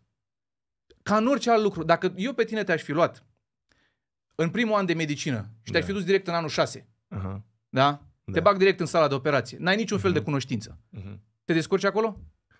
Să știi că așa se practică. La noi, în sistemul Speram să nu american. fie asta. Nu știi cum se face la, la chirurgie? Asta o poate confirma orice rezident. Bine, nu peste tot, dar 90% din cazuri. Te ia rezident proaspăt de chirurgie și tu ai venit și zici, bă, vreau să operez. Și zice, auzi, vezi că e un colon drept în sala 3, du-te și fă Și tu zici, mamă, ce tare. Și te duci să-l faci și belești ceva, belești acolo un uh, Ansa Henley, belești o... Faci o sângerare și intră după aia chirurgul, intră în sală și zice, vezi, bă, ce prost ești, cum dracu să te mai las? Și nu-ți mai dă nimic de făcut după aia. Da, se sper- întâmplă, mie nu mi s-a întâmplat, slavă Domnului, am făcut parte dintr-o echipă foarte bună, dar sunt atât de multe cazuri, atât de multe povești. Am auzit Fix și eu așa multe se face. povești horror, da. Da. N-ai vândut deloc bine sistemul medical românesc în momentul ăsta. Da, e în schimbare, să știi, eu văd o perspectivă pozitivă a sistemului medical. Devine, se o- occidentalizează. Se Eu sunt sigur că occidentalizează. lucrurile în România, adică, uite, mă aflu aici, am plecat Mhm. 11 ani, am dublă cetățenie. De ce naiba te-ai, te-ai întors? Asta e întrebarea. Băi, This is the România question. nu e atât de rea. Nu e deloc. Perspectiva mea s-a schimbat. Aha. Eu am plecat, că eram foarte dezamăgit de România, dar am văzut traiectoria în care se duce și cred că traiectoria asta o să continue mult timp. Se vede cu ochiul liber, adică se vede cu ochiul liber Eu de văd la o an la diferență. altul că este mai bine și e mai bine. Da, dar când vorbești cu omul de rând, toți se plâng de toate chestiile pentru că am impresia cumva uită de unde eram acum 10 ani. Mhm. Eu am văzut diferența asta pentru că am plecat în 2013. Aici e mai ușor să vezi asta când te întorci. Da. Și vezi, e ca la copii. Îl vezi acum șase luni, dacă îl vezi peste șase luni, vezi cât de mult a crescut. Fix atunci Sau îl că l-a vezi. slăbit. Da, ok. Că tot vorbeam despre chestia asta. Zim te rog, că vorbim de chestia asta. Zim așa, top alimente care îngrașă și după aia top alimente care te ajută să slăbești. Ok. Zine, zine o cură. Deci, foarte simplu. Așa. Da? Deci, proteina are 4 calorii pe gram, Da. kilocalorii să fiu mai specific de nutriție. Da. Carbohidrații au 4, grăsimea are 9, alcoolul are aproape 7. Ok, Da? da. Deci ceea ce înseamnă că alcoolul și grăsimea sunt cele mai dense caloric. Da? Și ce am înțeles la început de la tine e că mân- când mâncăm mâncare densă în calorii, Îți crește foamea. corpul zice ai dat de livada aia productivă de care n-a dat Mhm. nimeni, mănâncă tot din ea până vin alții să mănânce ca să te În îngrași. special carbohidrați procesați. Mhm. Și gră... nu zic că grăsimea nu e, nu e rea în Mhm. chestia asta. Zic că carbohidrații procesați sunt cei mai răi. De asta dulciurile, în general, uh, oferă cea mai mică sațietate Mhm. și mai mult îți fac poftă să mănânci mai mult. Da, îți oferă foarte multă plăcere. Ciocolata. Ai mâncat, zi, recunoaște. Da, mănânci, mănânc. Îți iei milca de aia cu lapte și o mănânci pe toată până ți-e rău? Eu nu cumpăr dulciuri, că dacă le am în casă, îl- nu pot să iau o bucățică. Măi, nici eu, nici eu n-am dulciuri acasă. Și am, o, de exemplu, la noi, eh, nevastă mă crede nebun, a zis, băi, eu de mic, în casa mea n-am avut cola. Da? Deci n-am avut cola, așa mi-a zis taică meu, deci taică meu, capul familiei, a dat cu punul în masă și a zis, în, cala, în casa asta nu o să avem cola. Dacă ne luăm cola, o să bem cola. Și e nesănătos. Ne luăm cola o singură dată pe an de Crăciun. Ok. Și de Revelion. Și de zi de naștere, atât. De trei ori pe an. Și n-am avut cola. Și mi, s-a, mi se pare o super bună strategie. Neavând, n-ai voie să ai cola sau alte băuturi dulci în casă, nu le consumi. Te obișnuiești să bei apă Mhm. și atunci consumi foarte rar. Dar zim când ai mâncat, adică hai, recunoaște, când ai mâncat ultima ciocolată Milka cu, uh, cu, uh, cu lapte, potată să o mănânci. Acum două, l- nu, o lună, Ok. o lună, când m-am dus în vizită la maica mea, maica mea e medic, știi ce înseamnă asta? Am un Ok. dulap cu ciocolată. Și unul cu cafele. Da, Deși mie cafea să nu mai cumpăr. Îți aduc. Dar e Jacobs. E bun. Tot, tot stocul e așa. Ce Ia... Iacob? Și, și Davidov, probabil. Jacobs Davidov de la, de la Uh, pacienții nu- mai buni, nu? Nu știu. Nu știu, eu, că e acoperită de Jacobs. și au găsit nișa de medici. Da, și uh, da, când mă duc la maica mea, adică eu, eu îmi fac așa o perioadă de, ok, acum o să mănânc dulciuri. Ok. și sunt destule. Acum, ea nu vrea chestiile astea, dar pacienții Da. insistă. Ok, și zici Sunt- să nu le, nu le arunci, le Da. lași acolo. Da, și cam... Da. Uh, dar altfel eu nu-mi cumpăr. Da, ok, revenind la ce ziceam. Deci c- carbohidratul și Mhm. dulciurile îți dau cea mai mică sațietate.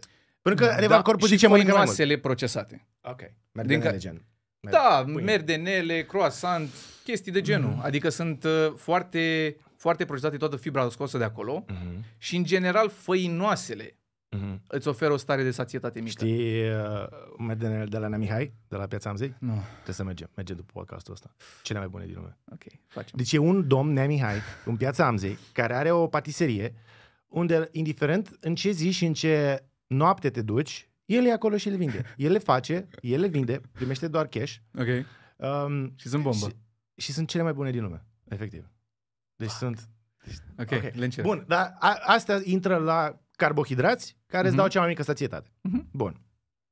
Um, dacă cineva e suficient de nebun cât să caute, îi se numește indexul sațietății, poți să vezi Ah, exact ok. fiecare aliment cam cât de multă sațietate îți oferă. Dar cred că e foarte util, nu? E ca un Da. uh, glicemic index, doar că index al Stai sațietății. puțin, că dacă, cred că pot să și spun cum se numea studiu.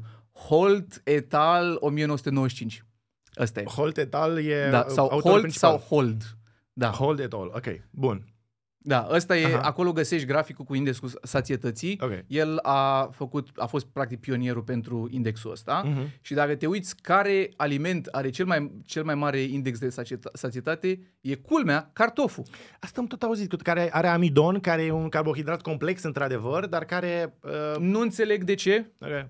nu o să te mint, nu înțeleg de ce. Aha. Teoretic, n-are nici proteină, n-are nici fibră multă. Cred că contează foarte mult. uh, Am făcut și eu un material la un moment dat pentru care am primit un pic de critici și într-adevăr era un pic trunchiat. Am făcut un material în care eu am senzorul ăsta pe care îl port intermitent, senzor de monitorizare continuă a glicemiei și uh, am avut o surpriză majoră când am mâncat la un moment dat, am mâncat într-o zi coaste Mhm. cu salată și în altă zi am mâncat aceleași coaste cu aceeași salată și cu cartofi prăjiți, atenție. Ok. Și am avut un efect foarte diferit. La coaste cu sos, cu salată, am avut o curbă glicemică foarte stabilă. La cartofi prăjiți cu aceeași mâncare, am avut o glicemie care s-a dus în 160 Mhm. și a coborât și după aia iar a urcat și iar a coborât și așa mai departe. Uh, și am pus-o pe seama cartofului. De fapt, era probabil cauzat de cartoful prăjit. Amidonul ăla prăjit și procesat cu grăsime, nu știu de ce, îl face sunt voci uh, avizate care îl spun că prăjeala, amidonul prăjit, are un indice mai mare decât glucoza, care e gen 100, care e top, adică e maximul pe care îl poți calcula. Și Și... Mi-e greu să mă pronunț, dar ce pot să spun e că dacă vrei cu adevărat să-l faci sănătos, uite cum îl fac eu, de exemplu, tai cartofii în cubulețe, Aha. pui o lingură de ulei Aha, Da. și la cuptor. și îl bagi la cuptor, pui niște condimente, îl bagi la cuptor. De ațet. De acord. Și De e, gust, acord. e suficient de gustos, Aha. e suficient de sațios și poți să-l mănânci cu o bucată de... Al doilea aliment pe indexul sațietății era peștele. Aha. Ok. Da? Da. Peștele, în special dacă iei unul alb care e mai slab caloric. Slab. Da, Deci nu gras. da. Aha. Peștele gras, eu l-aș vedea mai degrabă ca un tratament, dacă are Mhm. logică, pentru că vine cu omega-3 și e Mhm. foarte greu să găsești omega-3 în alimentația tipică. Deci că și peștele ăsta care e în, um, cu, uh, crescut în uh, fermele astea de pește, e lip- e lipsit de omega-3, pentru că cumva el și-l obține Da, din e- alge și trebuie să... Într-un mod paradoxal, are mai mult omega-3 decât ăla din sălbăticie. Ok. Peștele Paradoxal. Din... Ok. Pentru că nu se mișcă și e mai gras. Aha. Și are mai mult omega-3. Da, funny enough. Ok, legit. Asta ar trebui notat. Deci peștele de crescătorie are mai mult omega-3 decât ăla da, nu sălbatic. spun, nu spun că e mai sănătos, Ok, dar are mai mult omega-3. dar ca și cantitate pură de Aha. omega-3, volum, ia-o logic, nu se mișcă prea mult. Dar Ok. depune grăsime. Grăsimea lui e pufa. Polo unsaturated fatty acids. Mhm. Ok, corect. Uh, Deci, ca alimente care, ai zis de alimente care îngrașă, sunt alimentele alea care îți dau mai puțină sățietate. Și ai zis de dulciuri și Mhm. uh, făinoase. Zahărul e unul dintre cele mai joase chestii pe indexul sațietății. Da. Zahărul e unul din cele mai joase. Da. E, ok. Zahărul, știi care e problema cu zahărul? Mm.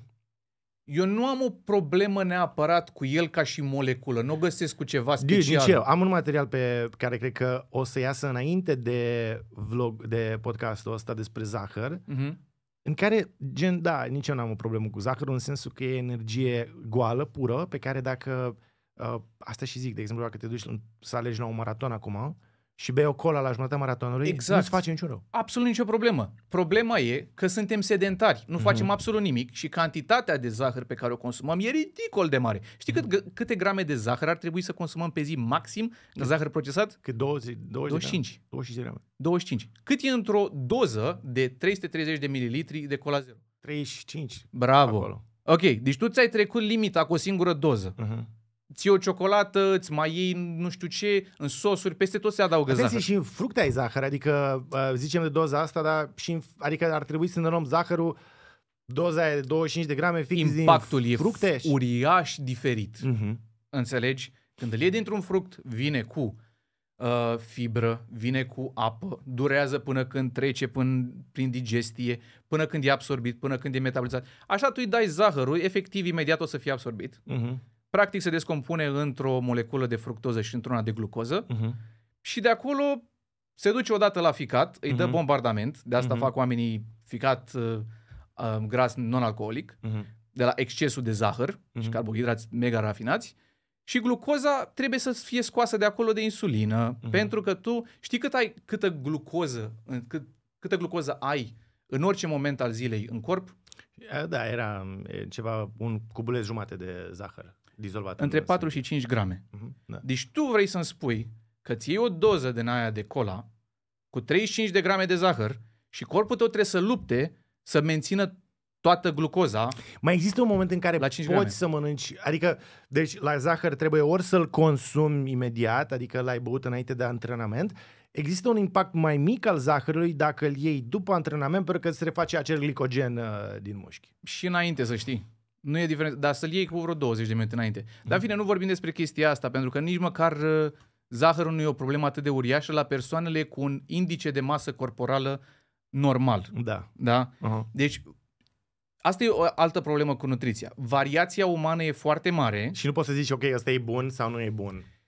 Podcastul ăsta pot să-l fac de 5 ore și nu o să termin de vorbi, pentru că e variația atât de mare, ar trebui să mă duc la fiecare caz particular de Asta e om. motivul pentru care industria alimentară sau big food, ca să zicem așa, uh, și uh, în lupta cu guvernele care zic, ok, trebuie să punem o taxă pe zahăr, industria big food vine și zice, hei, dar zahăr nu e rău. E greșit cel care consumă zahăr. Că noi facem doar zahăr. Dacă te duci la sală și bei o cola sau mănânci zahăr, nu o să-ți facă răul pe care ți-l faci când stai. Și vin eu pe cu, scaun. vin cu următorul argument. În natură, care e cea mai apropiată chestie de zahăr? Fructul, Nu? nu? Uh, mierea. Corect. Și trebuie să te urci în copaci și să fugi de ea bine. Corect. Aha, Dar nimic nu e atât de procesat pe cât zahărul pe care îl luăm noi. aha, Nu există, efectiv. Noi trebuie să procesăm trestia ca să putem să facem zahăr. uh-huh, Da, a- De acolo vine problema. Noi, în natură, noi nu am consumat zahăr. uh-huh.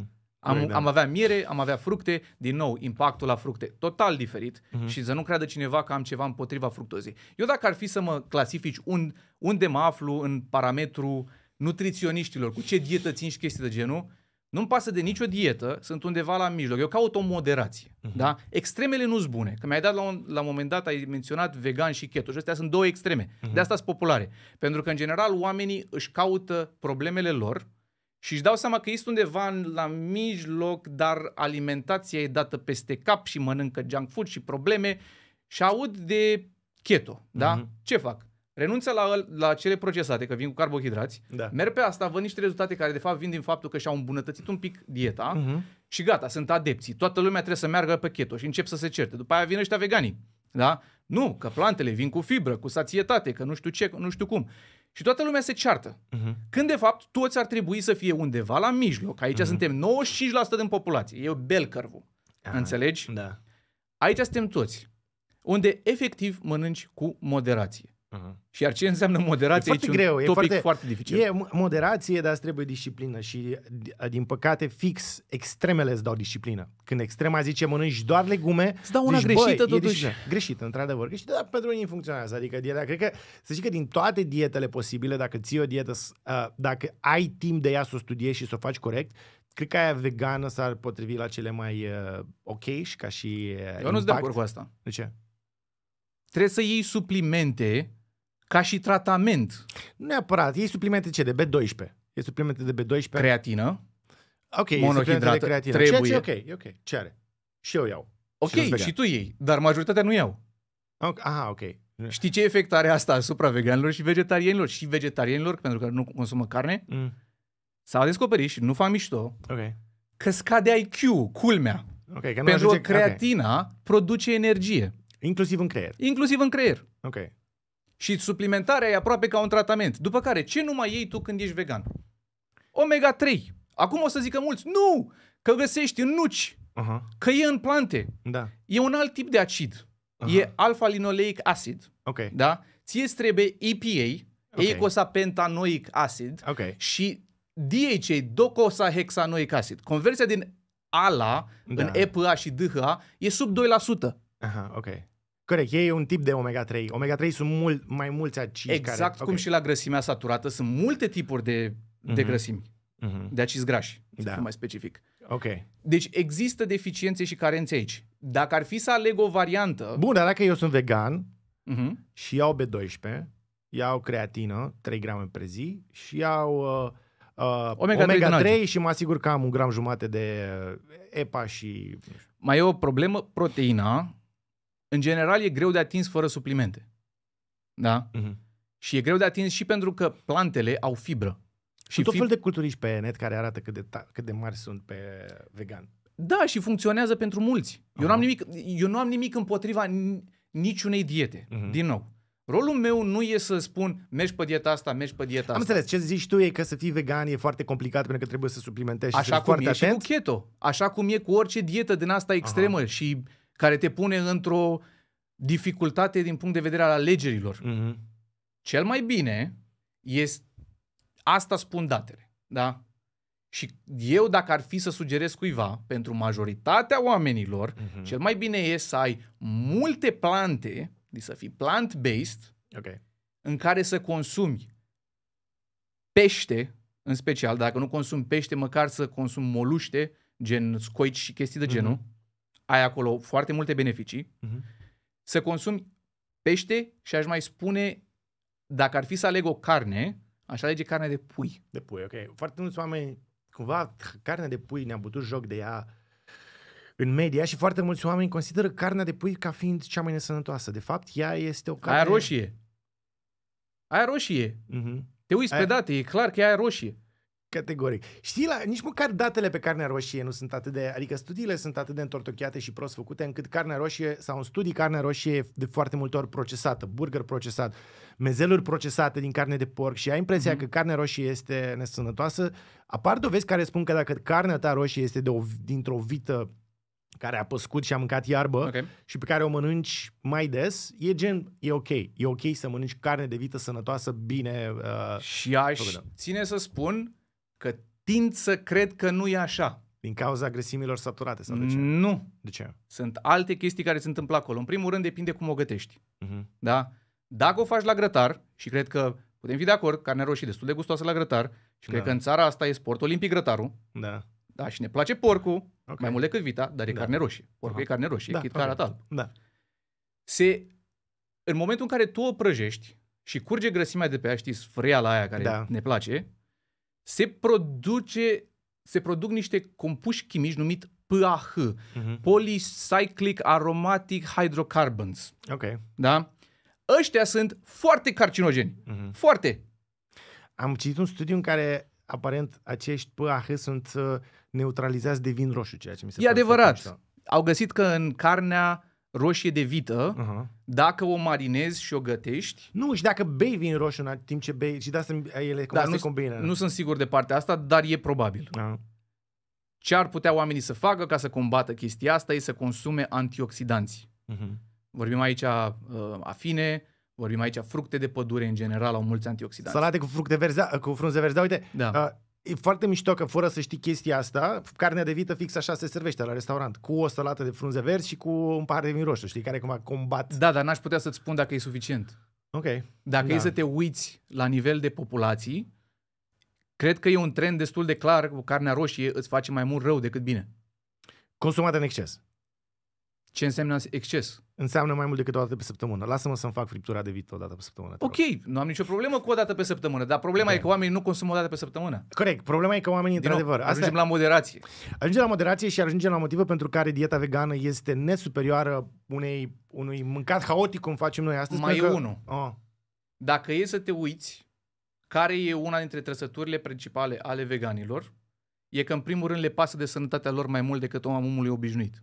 De acord și cu asta. Și studiile, practic, nu poate să facă diferența între Nu efectul benefic al mâncării și faptului că tu când ești vegan zici, bă, trebuie să mă concentrez la sănătatea mea și te concentrezi la sănătatea ta cu nu totul. am nicio problemă cu veganismul, nu am nicio problemă cu vegetarienii. Mhm. Tot ce spun e că extremele nu sunt bune Mhm. și că sunt mai dificile să fii în homeostazie optimă. Corpul Mhm. nostru are un range în care e optim. Mhm.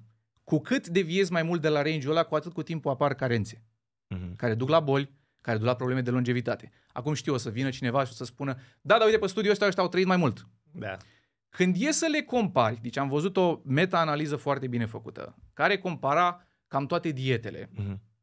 și s-a uitat la all-cause mortality, adică toate Da. cauzele de mortalitate. N-au găsit nicio diferență între veganism și Mhm. ceilalți. Mhm. Deci cauza morții Mhm. nu e diferită neapărat. Contează cum o faci. Că și ca vegan poți să-ți cumperi înghețată vegană, Mhm. poți să-ți cumperi junk food vegan, Da, poți să mănânci numai burger cartofi vegan. prăjiți. Da, exact, corect. Așa e.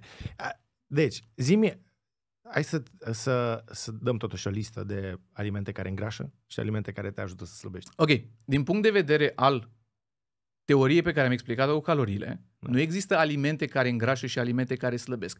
Există alimente care îți dau o sațietate mai bună Aha, și alimente care ți-o îngreunează. ok. Nu aș recomanda la dietă să consumăm surse bogate în grăsime. Da? Cu aia și începe. ok. Pentru că 9 calorii pe gram. Da? E foarte dens, da, grăsime. Foarte dens. Ok. da? Mm. Acum nu vorbim aici, îți pui 10 grame de ulei de măsline. Da, ok. Nu, vorbim efectiv, mănânci slănină și chestii de genul. Bine, nici slănina o să fie mulți care o să o Da. apere. Ok. Unt, să zicem. Da. Da. Nu-ți faci carnea în unt. Nu, Aha. și nu-ți iei, de exemplu, să zicem că gătești niște pui. Da. Nu îl gătești cu piele. Aha. Îți iei și tu niște bucăți mai slabe. Aha. ok. Înțelegi? Da. De ce? Scazi caloriile Mhm. și mai scazi și grăsimea saturată, care eu nu aș spune că e mai periculoasă, mult mai periculoasă decât colesterolul din alimentație, care nu prea are niciun impact. Asta categoric, da. De fapt, grăsimea saturată e cea care duce la colesterol crescut, nu colesterolul din alimentație pe care nu prea îl absorbim, de fapt. Corect. Uh, Și numai 20% din populație chiar sunt impactați de colesterol din alimentație. Mhm. Cam asta e da. procentajul. Uh, deci, alimente care îngrașă ar fi, ai spus, uh, uh, Nuci, făină, exemplu, Mm. nuci. Cine ar fi crezut că nucile îngrașă? nu ce le îngrașă. Nucile îngrașă, 100%. Nu recomand nuci la dietă. Poate nu multe. Da, nu. Ok, cât de ușor îți e să mănânci nuci? Au o, eu numesc calitatea asta nuplecabilitate. Sunt sigur că uh, o companie de semințe a trademark-uit cu câțiva ani, că Ok. mi-a intrat în cap. Ok. Dar au nuplecabilitate. Eu nu pot să mă opresc de mâncat nuci. Aha, ok. Sunt bune. Băi, nu știu, din nou, cred, eu pot să mănânc, adică pot să mănânc un pumn, cât călușul meu de, de palmă. Ok? Da, Câte pot să calorii mănânc. dintr-un pumn? Nu dau seama, vreo 200, cred. Mai Serios, pune? Da. Serios, da? Serios? Da, Cred că ajung la vreun 3-400. ok. Dar e un aliment sănătos totuși pe care, nu știu dacă, adică aș E prefera un să aliment neutru, nu e un aliment sănătos. Scot. Ah, E un aliment sănătos dacă alimentația ta e varză. aha. Un aliment sănătos ar putea, de exemplu, să fie, nu știu, niște pește. Aha. Ăla îl numește aliment sănătos. Știi Ok. cât de puțin pește se consumă în România? Mm. Foarte puțin. Cred că suntem ceva în genul o treime din cât se consumă media în vest. Mhm. Ok, deci să mănânc mai mult pește Da, și mai puține nuci. da. Ok. Bun, deci astea sunt alimente care îngrașă. Deci nu Dacă e și să ai zis- înlocui, dacă e să ai- înlocuiești grăsimea, da. Ok. uh, mai puțin uh, și mai puțin gras. Deci, într-adevăr, mai puțin gras. Mhm. Uh, totuși, grăsimea îți dă o sațietate, nu? Adică are un indice de sațietate mai mare. Mai mare decât ce? Decât zahărul? Da. da orice el are. Da, ok. Deci nu vorbim aici de care e cel mai bun, vorbim de care e cel mai rău. Ok, ne apropiem deja de care sunt cele mai rele, de asta l-am dat. Fie, zi atunci așa. Uh, și alimente, cu, a, a, alimente care ajută la slăbit, am înțeles. Mai, de exemplu, pro- proteinele, da, proteinele, peștele, Mhm. uh, poate un carbohidrat, dar complex, adică orez, cartof. Da, Da. da, cu cât e mai integral, cu atât e mai bine. Ok.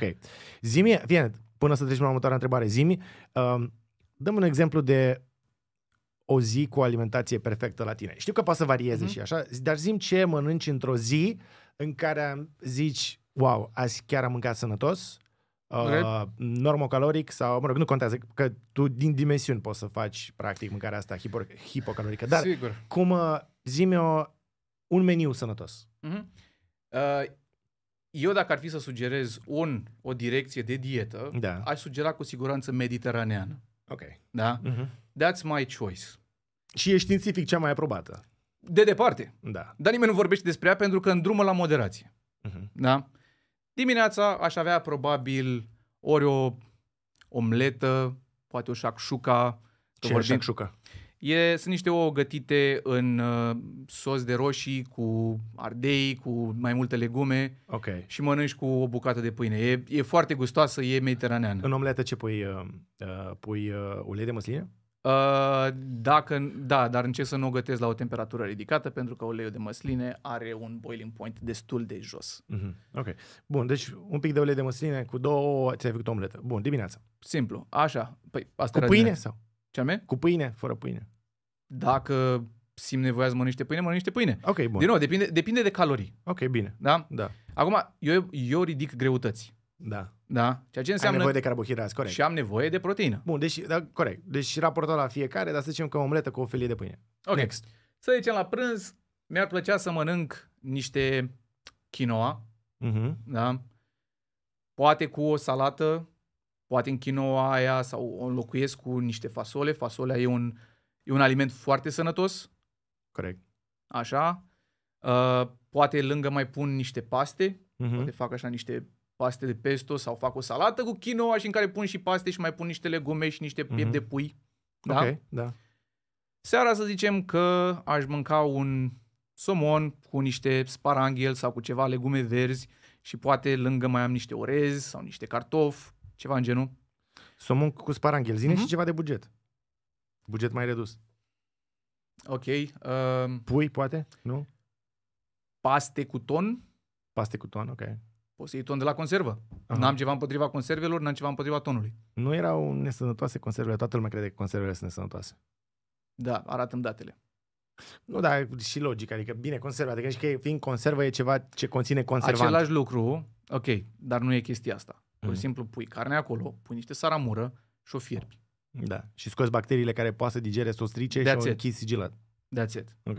Adică, Și chiar mai bună, adică poate să fie o variantă mai bună pentru că peștele ăla e luat proaspăt și fiert și pus proaspăt acolo. Nu mai este congelat, nu mai este ținut. da, sigur, și aici vorbim de calitatea fiecărui aliment în parte. Și Dar uite ce am zis eu sunt acum, poate, trancuri. poate să facă oamenii să creadă că și congelatul este nesănătos, which is not true. Adică poți să spun Congelatul de multe ori e mai sănătos decât fructe și legume proaspete. În primul rând, se pierd vitamine cu timpul, cu cât ei, să zicem, un fruct. Ei una, un antioxidant, cum ar fi cel pe care îl găsești în afine. Că... Da, Da? da. Afinele congelate imediat după ce le-ai cules, antioxidantul e mult mai bine conservat. Pentru că l-ai cules și plu- probabil și pentru că l-ai cules uh, ai cules afina când este coaptă și are concentrația maximă de antioxidant.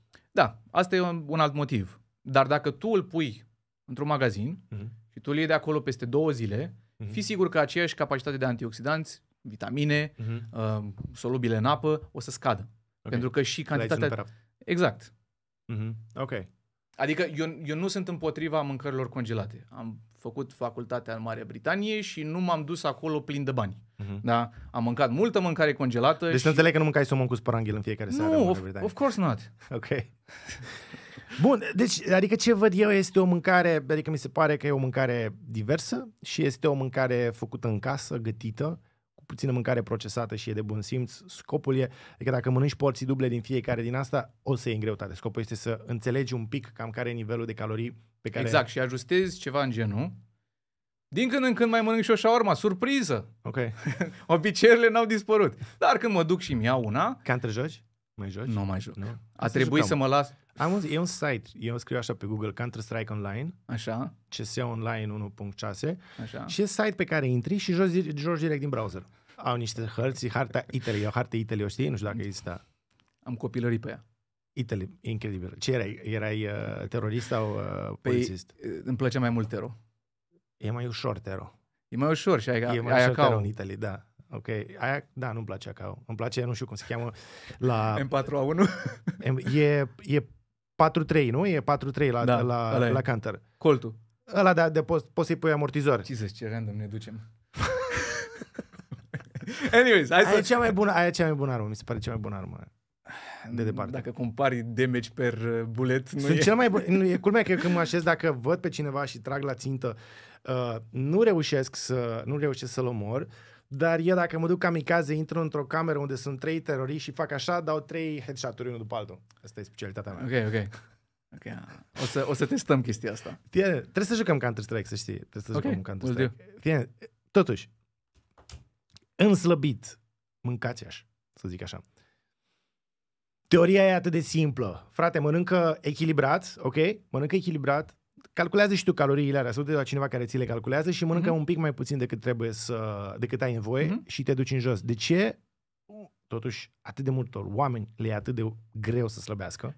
Pentru că își impun niște standarde nerealistice În ce sens? sau nerealiste. Mm, în ce sens? Odată restricție calorică mult prea mare, Deci, se convin că dietă anumite, prea drastică. da, se convin că Ok. anumite alimente sunt mai bune decât altele la slăbit. Ok. care în mare parte din punct de vedere al sațietății, vorbim adevărat, dar dacă tu consumi suficientă proteină și ar, cred că ar trebui să, speci, să specizezi cât, câtă multă proteină ar trebui să consume un om. Mhm. Dacă face efort fizic, ar trebui să fie între 1.6 grame Mhm. pe kilogram corp până pe aproape de 2 grame. E foarte greu să obții atâta. Asta proteină. spun.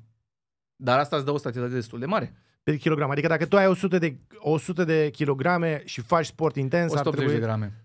180 de grame, e mult. Că dacă ne uităm, nu știu, un piept de pui cât are? Probabil că nu știu, 20 Hai să de punem grame. altfel. Pentru majoritatea bărbaților, cam 150 de grame de proteină pe zi Mhm. sunt probabil suficient. Ok, Pentru femei, cam 120 de grame. ok. Da? Dacă nu vreți să vă bateți capul, capul calculat, doar să vedeți în mâncarea voastră câte grame de proteină sunt. Și aș menționa că eu de ceva vreme și nu am văzut pe nimeni să discute despre asta, eu nu mai calculez gramele de carbohidrați și grăsime. Mm. Eu, eu calculez gramele de fibră Da. și grăsime saturată. Aha. Deci nu mă mai uit la proteine, carbohidrați și lipide. Ok. Pentru că nu văd sensul. Mhm. Pe tine te interesează odată energia, Mhm. te interesează proteina. Da. Sarea și chestii de Păi și genul sunt calculezi energie. proteina sau nu? Da, proteina da. Deci calculezi proteina Mhm. și uh, gra- fibrele. Da. Aș, Câte fibre vrei să ai în Ideal să fie măcar 30 de grame pe zi.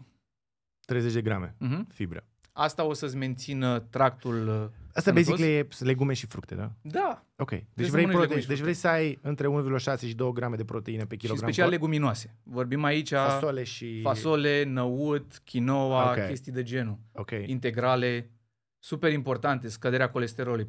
Probabil știi mai bine. Corect. Pentru că, da, mă rog, e un mecanism foarte simplu în care colesterolul uh, se transformă în niște acizi care ies prin sucurile biliare Acizi și se biliar, duc, da. da, și s- se duc în intestine pentru a emulsifia grăsimile. Și există anumite Exact. fibre care nu lasă să se reabsoarbă. Noi cam 80% din colesterol îl recirculăm prin această formă de Și e sucuri produs de biliare. ficat. Corect. Și, uite, de exemplu, uite, eu recomand uh, tărâțele de ovăz care se găsesc Mhm. în ovozul integral, pe care eu tot îl fac și arăt tot felul de rețete care, mă rog, e aceeași cașă, așa se numește cumva în rusă, e terciu de ovăz sau porigiu. Da. Și uh, am găsit explicația asta în Guyton când citeam uh, tratatul de fiziologie, îl mai recitesc din când în când și acolo e descris la colesterol foarte clar că tărâța de ovăz conține ceva, o moleculă care captează acest colesterol din, uh, uh, din uh, uh, din uh, uh, sucurile biliare și nu Mhm. lasă să se reabsorbe. Deci, practic, și- colesterolul tău se reabsorbe din intestine. Și asta, din tărâța de ovăz, conține ceva ce îl blochează, îl captează și te ajută să le elimini. Și în mare parte, cam toate fibrele solubile fac chestia asta. Mhm. Fibrele solubile le găsești în mare parte în cereale integrale.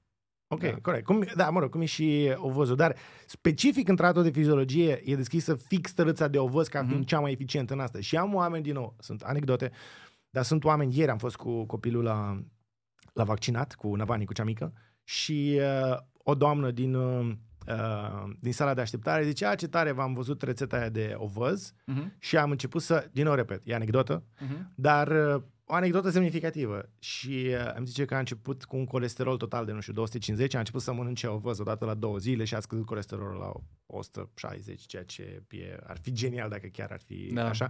Și am foarte mulți oameni pe care îi întâlnesc pe stradă care îmi confirmă că au început să facă asta și concret că au început de fapt să mănânce fibre și și-au scăzut nivelul de colesterol cu ajutorul ăsta. Da, adică și-au, într-un fel sau altul, și-au îmbunătățit alimentația, Mm-hmm. Mărind cumva consumul de plante neprocesate. Ai zis, da, ai zis 30 de grame de fibre? Da. Uh, unul- Pentru femei poate să fie puțin, o idee mai puțin, dar partea surprinzătoare e că asta e un minim. Mhm. Aha, minim. Mai mult Asta e mai un bine. minim. Ok, Da? ok. Deci asta ar trebui să fie un benchmark pentru minimul necesar de fibră. Aha. În jur de 20 de grame la femei, 30 de grame la bărbați. Ok. Da? Dacă e să ne uităm istoric, sunt date după, nu mai știu exact cum le-au făcut, dar era după oamenii preistorici. S-au uitat la ce puteau să mănânce pe vremea respectivă și cam de ce era făcută alimentația. Mhm. Și sunt unele studii care arat- arată că mâncau până la 100 de grame de fibră pe zi. Mhm. Dacă eu acum iau pe oricine din societatea modernă și dau 100 de grame de fibră pe zi, nu se ridică de pe toaletă. Mhm. Suntem neadaptați pentru așa ceva. Ok. Da? Eu țintesc spre măcar minimul ăsta. Auzi, da, poți să ții fibrele astea și din acele preparate. Există preparate în care uh, tot fel de prafuri care sunt fibră, practic, uh, izolată.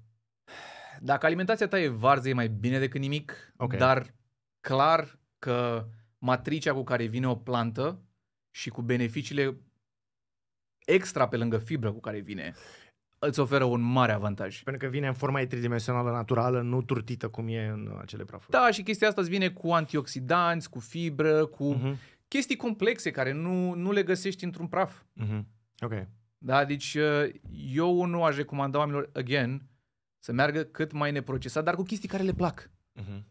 Ca asta, bun, eu am dat exemplul ăsta. Asta e o dietă ideală, da? Mhm. Aș mai adăuga acolo și o pudră proteică. Cred că printre puținele chestii procesate, poți să spui hiperprocesate, Mhm. care sunt chiar utile. Ok. Că îți atingi necesarul proteic. Da, într-adevăr, pur- pudra proteică, shake-ul la proteic chiar te ajută să-ți atingi acel necesar de 1,6-2 grame pe zi, care oricum e greu de atins, trebuie să fii foarte atent, dar într-adevăr ăsta e un, e un ideal care ar trebui urmărit. Uh, pudra proteică e mai mult un aliment, să zicem, nu? Adică e un supliment. E un ca aliment. talon, Dar e un aliment care e denumit supliment. Um, ce zici de creatină și în special, ok, avem, am și eu un material întreg despre creatină, sunt cumva pasionat de creatină, Mhm. Uh, dar sunt foarte mulți tineri care îmi scriu și mă întreabă dacă pot lua creatină. Băieți de 13-14 ani, care îmi scriu ori ei, ori îmi scriu mamele lor și zic, Mhm. hei, fiul meu are 14 ani și ia creatină, e ok? Uh, problema, deci e puțin complicat pentru că legal vorbind, suplimentele nu trebuie recomandate la persoanele sub 18 ani. Ok, deci noi nu recomandăm suplimente persoane Da, sub e pur și 18. simplu entertainment ce facem aici. Ok. Creatina cred că aduce beneficii oricui, la orice vârstă. Că e bunica la 90 Mhm. sau că e un copil la 10 ani, biologic vorbind, creatina duce la uh, producția de energie îmbunătățită. Ce face creatina? Noi avem ca și unitate de energie de bază AD- ATP-ul, adenozin trifosfat. Da. Da. da? Practic toată mâncarea noastră se transformă. Da. Energia e produsă atunci când un fosfat se mută de la ATP, a- adenozin trifosfat, la un ADP, adenozin difosfat. Mhm. Și în momentul în care se desprinde, acolo e produsă energia. Asta se întâmplă în fiecare celulă din corpul uman. Eu, și cum o explic, A- ATP-ul e acel uh, ad- adenozin trifosfat cu trei molecule de fosfat. Este ca un arc uh, strâns. Uh-huh. Da? Cele trei bucăți de fosfat din ATP sunt energia în arcul ăla strâns. În momentul în care tu dai jos un fosfat, deschizi arcul și arcul ăla îți dă energie. Da. Și se transformă... Toate mișcările pe care le-ai făcut acum au venit din ATP. Exact, ATP, care se transformă în ADP, adică adenozin, o moleculă cu două, două molecule de fosfat. Acum, e puțin ghinionist că creatina asta a pornit cumva din zona culturismului și practic de asta toată lumea o confundă cu steroizi. Dar numai așa o găsești, o găsești numai în borcane cu, cu oameni musculoși. Știu. într-adevăr. Și culmea este că, adică, Dar e cel mai Atenție. studiat supliment vreodată corect, și cel mai benefic. Și, cel mai, și e produs de ficatul tău. Ficatul tău la 10 ani Dacă face nu mă știu și creatină ridic, da. și, da, și uh, inclusiv uh, în mâncare, când mănânci pieptul ăla de În pui, carne ai găsești creatină. Creatină, da. Da, ok. Bun, deci el practic transformă o Dar e energie... foarte, e foarte greu să iei creatină la nivelul pe care l-ai luat din suplimentație. Da. Și beneficiile sunt cu siguranță mai mari decât efectele adverse, Mhm. pe care încă nu le-am găsit. Mhm. Sunt descrise la, uh, la monohidrat de creatină efecte adverse digestive. Adică poți să ai uh, Da. grețuri, vărsături, uh, bă, arsuri gastrice, bă, diaree, tranzit Și mai e un accelerat. studiu care spune că poate duce la chelire, dar cred că e foarte, foarte limitat studiul ăla și e unul singur și nu i-aș da importanță. Dar sunt foarte mulți care sunt speriați că dacă iau De acord. creatină o să chelească. Ok. Și eu cred că dacă ai părinții sau bunicii cu chelie, cel mai probabil problema îți vine de acolo. Mhm. Hai să nu, ca să ne întoarcem, nu dăm, Da, scuză-mă. sfaturi, nu, nu dăm sfaturi copiilor de 14 ani sau 13 ani să ia creatină, Nu spun. în, dar eu aș putea să spun despre mine, care am făcut sală, m-a luat taică la sală undeva pe la 10 ani, Mhm. și uh, uh, îmi arăta tot felul de exerciții, mergeam pe la sală, uh, făceam, uh, eram slab, n-aveam masă musculară, îmi doream să o cresc, ca și paranteză, beneficiile creatinei nu sunt că îți dau mai multă masă musculară, fac și asta, dar îți dau mai multă forță, îți dau, îți dau puterea să împing și a 12-a oară și a 13-a oară. Uh, eu, de exemplu, dacă la 12-13 ani aș fi știut informațiile pe care le știu acum, concret eu, fiecare corp este diferit, Mhm. dar eu atunci aș fi, probabil că aș fi luat creatină. Da, problema e că oamenii o iau numai pentru masă musculară. Da. Mm. Și mai e o problemă la vârsta asta pe care ai menționat-o, 13-14 ani, e că nu prea depui musculatură atunci, pentru că organismul tău trece printr-o perioadă de dezvoltare hormonală, unde se dezvoltă caracteristicile sexuale secundare, și organismul tău nu e interesat neapărat de hipertrofie. Sunt alte lucruri unde prioritizează, că practic hormonii spun unde se duce energia și ce, ce se întâmplă acolo. Mm-hmm. În momentul în care lucrurile astea se mai calmează, pe la un 16-17 ani, cam atunci oamenii încep cu adevărat să pună musculatură mai serios. Dar mușchiul ăla care există la 12-13 ani totuși se poate dezvolta nu în volum, dar poate să prindă forță, poate să prindă exercițiu, poate să prindă memorie musculară. Dar diferența într-adevăr- vizuală nu o să fie una uriașă. Corect. Nu o să fie ca la cineva, să zicem, la 20 de ani, 21 de ani, 22 de ani, unde ai nivelul de testosteron optim și în același timp organismul tău nu mai trece prin dezvoltarea aia uriașă de înălțime, de voce, de Mhm. păr, chestii de genul. Mm-hmm. Dar ai recomandat unui copil de 12-13 ani, să zic unui adolescent 12, 13, 14 ani, să meargă la sală? L-ai trimite mai degrabă la un alt sport sau să meargă la Uh, sală? Cred că i-ar prinde bine să meargă la sală sub supravegherea unui antrenor care știe ce face Mm-hmm. și să învețe execuția corectă, Da, totuși real, Cu o- cum să facă asta pentru că un copil de vârstă cu o asta greutate adaptată pentru vârsta lui. nu o să aibă bani pentru un antrenor care... Uh, Am spus un caz ideal. da. Dacă ar fi să recomand altceva, dacă persoana care ne urmărește este slăbuță, ar putea să încerce calestenice. Aha. Da? O bară și mai că mai avea una din aia de baș Ce preșul. înseamnă calist- calistenic? Deci te agăți de o bară și Aha. faci tracțiuni. Faci Ok, cu propria greutatea greutate. corpului. Ok. Da? Mm-hmm. Nici nu-ți trebuie un abonament la sală, poți să o faci asta acasă. Poți să cauți programe de calisthenics pe, pe net. Exact, sau poți efectiv cu greutatea corpului, faci abdomene și să-ți îmbunătățești condiția cardiovasculară. Mm-hmm. Da? Să alergi, să joci un sport. Efort fizic. Mm-hmm. Trebuie să facem efort fizic. Suntem făcuți să fim sportivi, Mhm. toți dintre noi.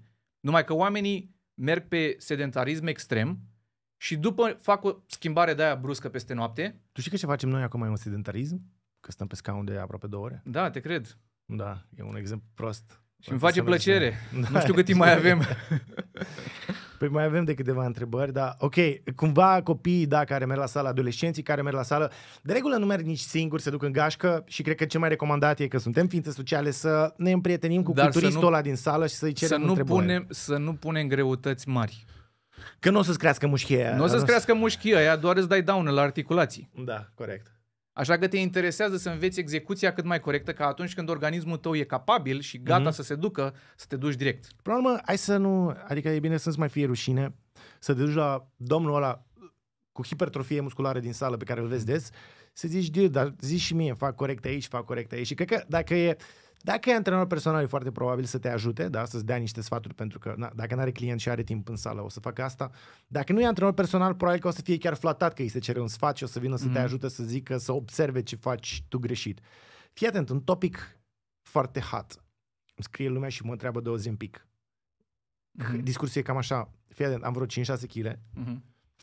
Uh, nu pot să le dau jos. Am încercat dietă, am încercat sport, dar ajung acasă și mă ia foamea și sparg frigiderul, mănânc milca aia, mănânc două milca. Uh, Ok. Și vreau Ozempic. Care e faza cu Deci, Ozempic?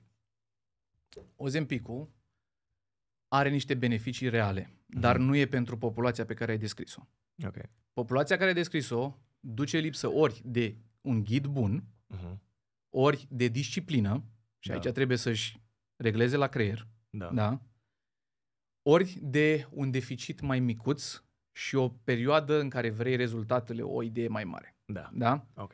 Astea sunt 5-6 kg.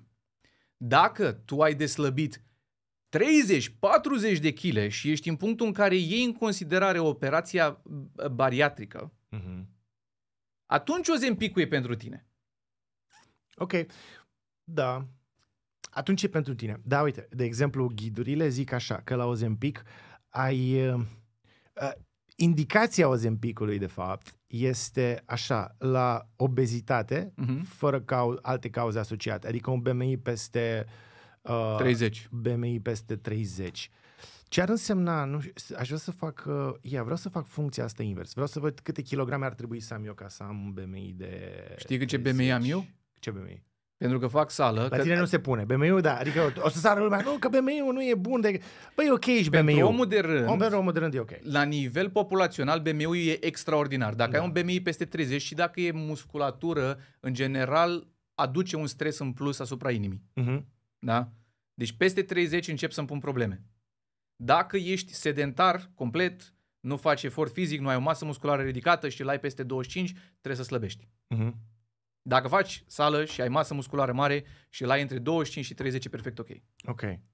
Uh, dar, uh, deci revenind la BMI, deci uh, indicația, indicația în momentul de față, ce puțin în Statele Unite uh, și în Europa unde e aprobat, a uh, semaglutide, adică ozempicului, este așa, la BMI peste 30, adică ești Mhm. obez și ai încercat să slăbești și să faci lucrurile de care ai vorbit tu mai devreme. Da. Adică ai încercat să ții hipocaloric, ai încercat să, să ai un deficit mic, uh, ai încercat să faci, uh, să te reglezi psihic, ai încercat să faci sport și n-ai reușit, Mhm. te menții acolo șase luni cu toate încercările posibile, ești la un BMI de 30 sau la un BMI de 27. Ok. BMI 27 plus o consecință a greutății în plus care uh, include, dar nu se limitează, la diabet zaharat tip 2, Mhm. hipertensiune și un panel de ăsta lipidic super mare, Da, adică da. ai colesterol mărit, Problema ai mea cu trigliceridele toată, mari. to- toată situația asta e că, în primul rând, Ozempicul, sau mai bine spus, semaglutida, Mhm. a fost făcută și studiată pentru diabetici. Da, și după aia s-a descoperit că te scap, scapă de greutate Ca și efect să- advers, tăindu-ți apetitul. Da. Dar ăsta a fost un efect advers, nu a fost ceea ce, pentru ce a fost făcut. El a fost făcut ca să-ți mărească producția de insulină a pancreasului. Mhm. Iar dând o doză mare, că dacă te uiți care e doza între cei care au, dia- care au diabet și iau asta și cei care iau pentru slăbit, cei care iau pentru slăbit iau mai mult decât ia cu diabet. Da, dozele, dozele diferă. Dozele diferă. Asta o să-ți tai apetitul, Da. dar îți mărește destul de mult șansa pentru pancreatidă, pentru că scopul lui e să-ți mărească producția de insulină. Da, Posibil, da. El de fapt este un, e un, e acest uh, glucagon-like peptid 1, Da. GLP-1, pe care și... un agonist. Da, un, și uh, uh, intestinul tău produce acest hormon, Uh-huh. pentru care tu îl iei uh, exogen de afară el scade, cumva, uh, mecanismul lui e destul de complex, dar el îți și scade motilitatea intestinală, uh-huh. de acolo e bănuit că îți poate da acele pancreatite și sunt studii, am văzut studiul acesta care arată că persoanele care Dar nu face numai asta, să știi că acționează poas... pe pancreas direct. Ok. E unul dintre mecanisme prin care acționează. Al acestui hormon, GL, GLP-1. Ok. Nu, uh, asemaglutidei. Asemaglutidei doar. Da. Ok tinde să te alarmeze, este destul de prost făcut pentru că au fost luați pacienți care aveau deja diagnostic de pancreatită uh-huh. și nu s-a, uh, cumva, corelația între folosirea ozempicului și pancreatita uh, n-a fost dusă până la capăt în a arăta într-adevăr că ai pancreatită. Uh, s-au luat doar pacienți care au enzime pancreatice elevate, okay. trecuți ca diagnostic ca, ca pancreatită. Deci, ok, să zicem că există acest efect advers, să presupunem că el există și este rar. Dar, Revenind, indicația este clară. Ai, dacă ai BMI-ul peste 27, BMI peste 27 înseamnă... Și eu am BMI peste 27. Da, BMI peste 27, bine, dar tu ai masă da, musculară. Okay. Dar la o persoană normală, sedentară, da. care are un BMI de peste 4, 27, are uh, obezitate abdominală și are Dacă nu reușește asociați, sub nicio formă să slăbească, vorbim aici sub nicio formă, a încercat tot ce se putea, a urmat un deficit caloric micuț, uh-huh. au măncat neprocesat, au mâncat cu mai multă proteină, cu densitate calorică mică, au mâncat alea 400-800 de mililitri ca și volum la masă. Odată eu cred că e imposibil să nu slăbești cu asta. Dar sunt, adică sunt oameni foarte mulți care nu slăbesc cu asta. Sunt foarte mulți. Știu, știu și în același timp am o frustrare pentru că sunt sigur că nu fac ceva corect Aha. și cred ei că nu pot să slăbească cu asta. Nu crezi că Ozempicul i-ar putea... Atenție, ba nu, da, fac, nu, nu, ba da. nu încerc să promovez deloc Ozempicul, din contra, când oamenii îmi scriu și mă întreabă, cumva încerc să-i în drum spre altceva, nu spre Îl a lua văd ca un breakthrough. Okay. Da? Sunt pro înțelegerii lui mai bine. Mm-hmm. Numai că mi-e frică să-l recomand pe populația asta cu BMI de 27, pentru că vorbim cu aici... diabet, atenție, pentru că... Tu, ok, cu vor... diabet aici vorbim altă, altă da. situație. Nu, ok, diabet zaharat, atenție, diabet zaharat sau hipertensiune, adică, de exemplu, un BMI de 29, okay. aproape de obezitate. Schimb, s-a schimbat cu hiper, povestea. Cu hipertensiune, care, uh, știi, și eu încerc să gândesc, e problema un medicament, e destinat diabetului, ok. Uh, din păcate, pacienții care au diabet nu-l mai găsesc pe piață pentru că se vinde Sunt off-label foarte pentru... mulți care iau pentru slăbit și nu au nevoie pentru slăbit. A fost banat, știi că a fost, am citit acum de curând, că a fost banat în UK, uh, a fost banat, uh, interzisă doctorilor recomandarea de Ozempic către pacienții supraponderali pentru că diabeticii nu mai găsesc. Da. Ceea ce e, e foarte adevărat. Ok, ar trebui să producă probabil mai mult, ar trebui să fie mai ieftin, dar eu văd o speranță în el, pentru că, indiferent de cât ne-am dorit noi să slăbim prin uh, și eu văd o calorică, un pacient care este obez și are și o boală care este asociată obezității, are mult mai mult de suferit să Sunt rămână acord. obez și, și Dar, din nou, decât să slăbească. Un BMI de 27 nu îmi indică pacientul ăsta dacă el nu are probleme de metabolice gen diabet. Asta, asta spune recomandarea. Deci peste 27 asta plus zic. probleme metabolice. Asta zic. Ce, ce am crezut că mă întreb tu e dacă la un om cu BMI de 27 care a încercat tot ce crede el că a încercat să ia Ozempic. Eu cred că aici vine cu potențiale efecte adverse uh-huh. care nu justifică riscul pe care ți-l asumi. Corect. Ok, da, corect. Pentru că majoritatea oamenilor nu sunt... Adică, ok, ai obezitate, te uiți la BMI-ul tău, e, ai peste 30, știința spune că ai putea beneficia de pe urma Ozempicului. Pentru da. că scazi în greutate și îți reduci, chiar dacă ai niște riscuri asociate cu Ozempicul, îți reduci riscurile majore de care știm, pe care, cu care vine obezitatea la pachet. Într-adevăr, majoritatea oamenilor care vor să slăbească, vor să slăbească doar din punct de vedere estetic și ai un BMI de 29, n-ai riscuri asociate, n-ai acele boli, hipertensiune, diabet, colesterolul crescut uh, și atunci uh, te duci la Ozempic ca pe o soluție simplă de a slăbi, uh-huh. which is not right. Și uh, cumva ceea ce nu se înțelege, oamenii au impresia așa, că la Ozempic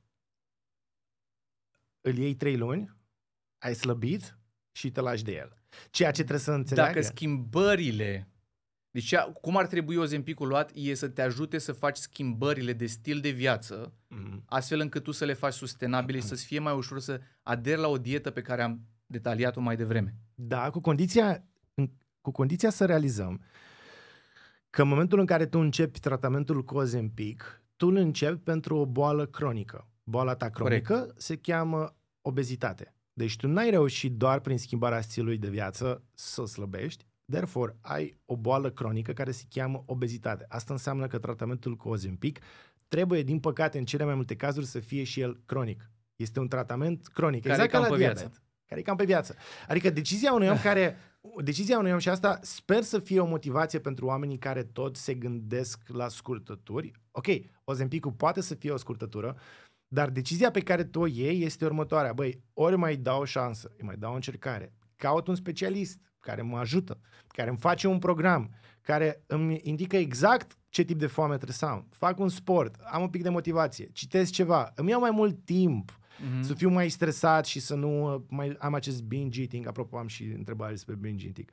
Uh, fac toate lucrurile astea și încerc să slăbesc ca să evit o medicație cronică, ori dacă nu mai am nimic de făcut, cred că e mai bine dacă am obezitate peste 30. Și eu să sunt de iau acord. medicație, dar trebuie să înțeleg că este o medicație cronică. Nu, mă, dacă stau 3 luni pe Ozempic, Și slăbesc eu 7 sunt kg. total de acord cu asta. Mm. Eu îl văd ca o speranță pe viitor. Mhm, Dar în același timp pot să admit că e încă la început cercetarea pe el mhm, și nu știm, au fost nenumărate medicamente care în trecut se dădeau. mhm, S-a dat până și amfetamină de medici. mhm. Da? Da. Ăsta a fost un, un medicament dat pentru obezitate. mhm, E un drog. Da. Da? Da. Și cu toate astea a produs efecte negative și au fost multe medicamente care au produs efecte negative și ne dăm seama numai peste ani și ani. Să dați inclusiv heroină injectabilă pacienților ca tratament împotriva dependenței la morfină. A There fost, you go. a fost câteva luni o fază în state, da, când s-a descoperit, când a, a avut o criză de opioide, uh, fumau morfină și îi duceau la spitale de psihiatrie, unde îi tratau împotriva dependenței de morfină cu heroină și le făceau gen mai rău, fiind un opioid mai puternic. Deci eu aș recomanda persoanele care constant se gândesc la mâncare, au încercat tot ce se putea ca să slăbească, nu reușesc Mhm. sub nicio formă. Au un BMI peste 30, care e kilograme împărțite la, greuta- la înălțimea în metri la puterea a doua. Da. Da? Așa vi-l calculați. Dacă e peste 30 și nu ați reușit toată viața, sub nicio formă și cu ajutor profesionist, să slăbiți, ar putea fi o soluție. în condițiile în care s-ar, nu, ș- nu știu în momentul în care publicăm acest podcast, care e, să zic, contextul legal în care poate un medic să-ți recomande asta, dar probabil că nu dos- e posibil să n-ai voie momentan în România să dai rețetă de Ozempic Cred- pentru a scădea în greutate. Știi? E Cred posibil să că medicii specializați în nutriție și boli metabolice, ar putea să prescrie. da. Ok, deci asta trebuie, asta trebuie să verificați voi, să vedeți că Noi ce puteți să facem mergeți. aici e entertainment. Ok, e un Da. pamflet, da. E un pamflet. Uh, bun, deci, uh, ok, asta e treaba cu Ozempic. Deci, cumva, în final, să-ți dai seama că asta poate să fie ultima soluție. E probabil mai bine să iei Ozempic decât să rămâi în obezitate. Sau să faci operație, pentru că aia scade cel mai mult greutate și aia vine cu cea mai mare rată de succes. Uh-huh.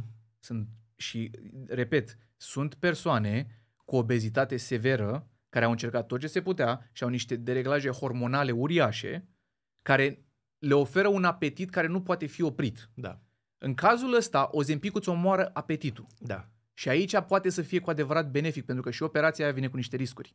Și aici cred că beneficiile, când le pui în balans, beneficiile sunt mult mai mari la, o, la Ozempic, la semaglutidă. Uh-huh. Decât la operație. Clar. Dacă pui în balanță Deși ca și, procent, efectele adverse. ca și procentaj de greutate pierdută în medie e mult mai mare, clar, cu gastric sleeve Mhm. sau alte metode Da. bariatrice. Operația, într-adevăr, e foarte variabilă pentru că depinzi foarte mult de mâna care te operează și de experiența clinicii care te operează, pentru că uh, dincolo de operația pe care tu o faci, sunt foarte mulți oameni care merg în Turcia și fac operația în Turcia, se întorc aici, tu trebuie să fii urmărit după aia de un colectiv medical care să știe Absolut. ce suplimente să-ți dea, cum să-ți reintroducă mâncarea, uh, ce-ți lipsește, adică cineva trebuie să te urmărească constant ca să te pună cumva pe, pe traiectoria Plus că aia tu, corectă. practic, o să treci printr-o restricție calorică forțată, bruscă, Mhm. și nu ai ce să mai faci. Da. Adică stările la nașpa de le ai cu 50% mai puține calorii, tu o să le ai, dar nu o să-ți mai fie foame, că n-are unde să intre. Corect, da. Exact. Și cumva se schimbă și neurocircuitele de la nivelul gastric, pentru că sunt niște nervi care sunt rezegați acolo și inclusiv hormonii pe care stomacul îi secretă, care sunt hormoni de foame și de sățietate, Exact. se schimbă și Pe lângă, pe când la semaglutidă, tu poți să mănânci mai mult, pur și simplu nu-ți mai vine. Mhm. Poți să devii ca omul ăla normal care se duce cu prietenii la o masă în oraș și nu trebuie să-și ia trei cheeseburgeri și poate și el să mănânce o masă normală, poate pentru prima dată în viața lui să mănânce o salată, să simtă sătul Mhm. Și atunci cred că beneficiile cu siguranță bat riscurile. Da, fie, avem și niște întrebări de la public. Ai făcut și tu un uh, story, l-am pus și eu. Da.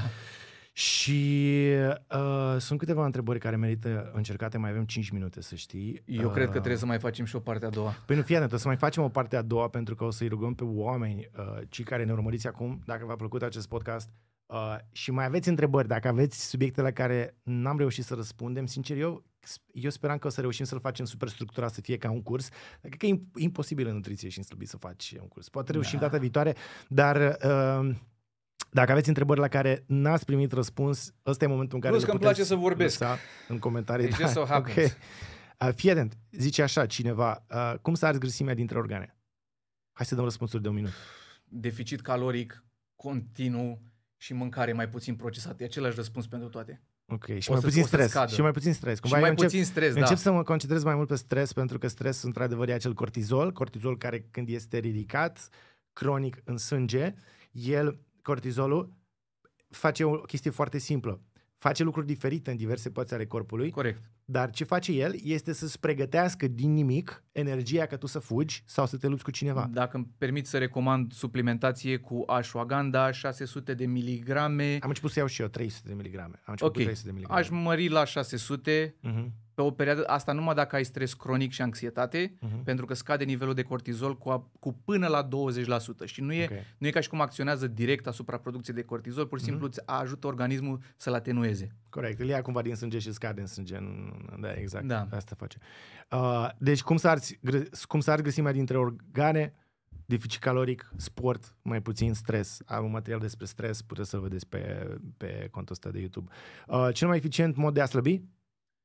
Cred că am discutat despre asta. Deficitul E, caloric. deficit oricum l-ai caloric. face. problema este să v- cauți cel mai eficient mod. Când te referi la eficient, te gândești, dacă te gândești la rapid, din start e o greșeală de logică. E o fractură de logică. Da. Cel mai eficient mod de a slăbi este să slăbești corect în șase luni, poate, nu? Într-un an. Într-un an. Într-un doi ani an. dacă e nevoie. Dacă e multă Ok. greutate, poți și în doi ani de zile. Nu e, Ok. nimic, nu e nimic rușinos în chestia Ok. asta. Ți-a luat o viață să pui greutatea aia, cum te aștepți să o rezolvi în două săptămâni? Fii atent, Antonio, omul meu, întreabă așa, poți face sală, lua proteine și totodată să și slăbești 10-15% din grăsime corporală? Da. Ok, asta e și ideea. Dar depinde, depinde pui. în cât timp și depinde de punctul tău de început. 10-15% din procentaj de grăsime e uriaș. Ok. Deci uriaș, probabil că în timp Dacă, lung se dacă poate. tu începi la 30-40%, ar trebui fix asta să-ți dorești. Aha. Că Ok. exact, intri exact în range de om sănătos. Mhm. Adică e cam visul. Dar dacă Ok. începi la 20%, să pierzi 10-15%, Aha. fuck me. E, e, nu e o E de viață care ți-o concurs, dorești. e de concurs, E nu? de concurs de steroizi. Ok. Nu e de om normal. Ai o dietă hip- hipocalorică, dar hiperproteică, duce la menținerea masei musculare? Ce Da. vrea el să întrebe e că dacă te duci la sală și vrei să slăbești și mănânci mai puține calorii, dar mănânci multe proteine, poți să menții mușchie acolo? Dar o să-ți fie greu cu apetitul dacă nu consumi alimente cu densitate calorică mică și volum mare, Aha. dar poți. Ok. Poți. Poți, Poți ok. chiar să și crești.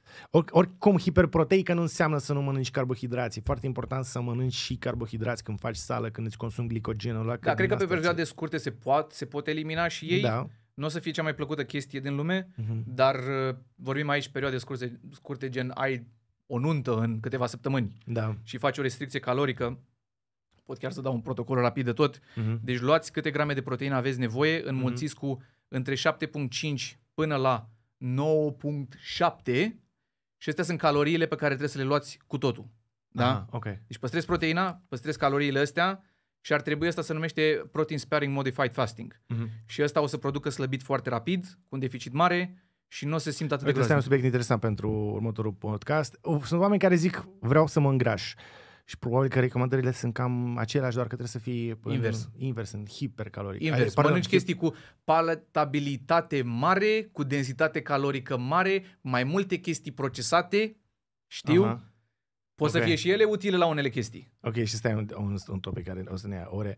Uh, ce alternativă există pentru chipsuri? Asta aș vrea să știu și eu. Popcorn făcut la aer, în casă sunt anumite uh, popcorn makers din astea care Da. se fac cu aer, ți, îți pui tu boabe de porumb acolo Aha. și poți să-l faci cu aer, după aia mai pui niște sare sau poți să mănânci, de exemplu, semințe, nu să Prăjite? Nu, n-aș, dacă poți coapte. Coapte. Coapte, în coajă. A, le că ba- îți, îți ia și mult timp să le, să le decojești. Ok. Înțelegi? Dar să, Așa. nu, dar să nu iei sâmburi, Aha. propriu zis. Bine. Că Ok. timpul pe care tu îl petreci spărgând semințele alea, Întreabă cineva, Așa. e ok să luăm testosteron? dacă ai 40 de ani Ah, bun răspuns, da, și ai deficit? și da. ai deficit, da, Da. administrat medical cu doze mici, nu vorbim aici de scopuri estetice la 16 ani. Se poate slăbi doar din dietă? Da. Da, nu. Cum slăbesc fără să țin dietă? Faci un Aia, deficit deci- caloric prin efort fizic. Aha, ok, mănânci Mănân- la fel, da. Deci, Mănânci la fel, dar, dar consumi mai crești mult. consumul, da. Faci mai mult cardio, faci mai mult... în cât timp efort poți slăbi 20 de kilograme? Dă un răspuns realist, sănătos. Spune ce greutate ai. Adică, Hai, hai, să zicem că are 120 și vrea să ajungă la 100. 6 luni lejer. 6 luni lejer? Lejer. Ok. De ce nu slăbesc la menopauză? Ok. Uh, cum pot să nu mai mănânc dulciuri? Asta Nu scrie le mai ultima cumpăra. întrebare. Corect, despre asta. Mă rog, e mișto că am răspuns la multe din întrebările astea în, uh, în acest podcast. Andu, îți mulțumesc că ai venit. Mi-a făcut mare A fost plăcere. o discuție super interesantă. Trebuie să facem un canter la un moment dat. Da, și cred că ar mai merge și o parte a doua, dar să ne alegem cumva să fie topicurile mai structurate, pentru că am mers foarte Putem mult. să facem asta și asta e rugămintea la voi. Ave, Lăsați-ne- din plăcere. Am- Adică Da. mi-a făcut plăcere Da, da, discuția, da, dar corect, a durat de acord. foarte, foarte mult off-topic și mi-aș fi dorit să atingem mult mai multe alte subiecte. Păi le notăm și sigur ne mai întâlnim într-un alt uh, podcast. Uh, notați-ne jos, scrieți întrebările pentru Andu, întrebările pe care le aveți pentru noi, care țin de, de nutriție, de slăbit, de luat în greutate, de alimente, de ce e sănătos. Poate ne puteți povesti experiențele voastre, poate ați făcut anumite diete sau anumite lucruri care au ajutat și o să analizăm și o să dezbatem să vedem de ce au putut să ajute sau lucruri care, să zic, uh, au fost eficiente, dar ați renunțat la ele și ați revenit la greutatea de dinainte. Uh, și uh, cam atât. Nu uitați să ne dați like, comment, subscribe și Andu ne vedem cu altă ocazie. Mi-a făcut mare la plăcere. Un alt uh, podcast. Thank you. Ciao. Ciao. Bye. Mulțumim pentru vizionare.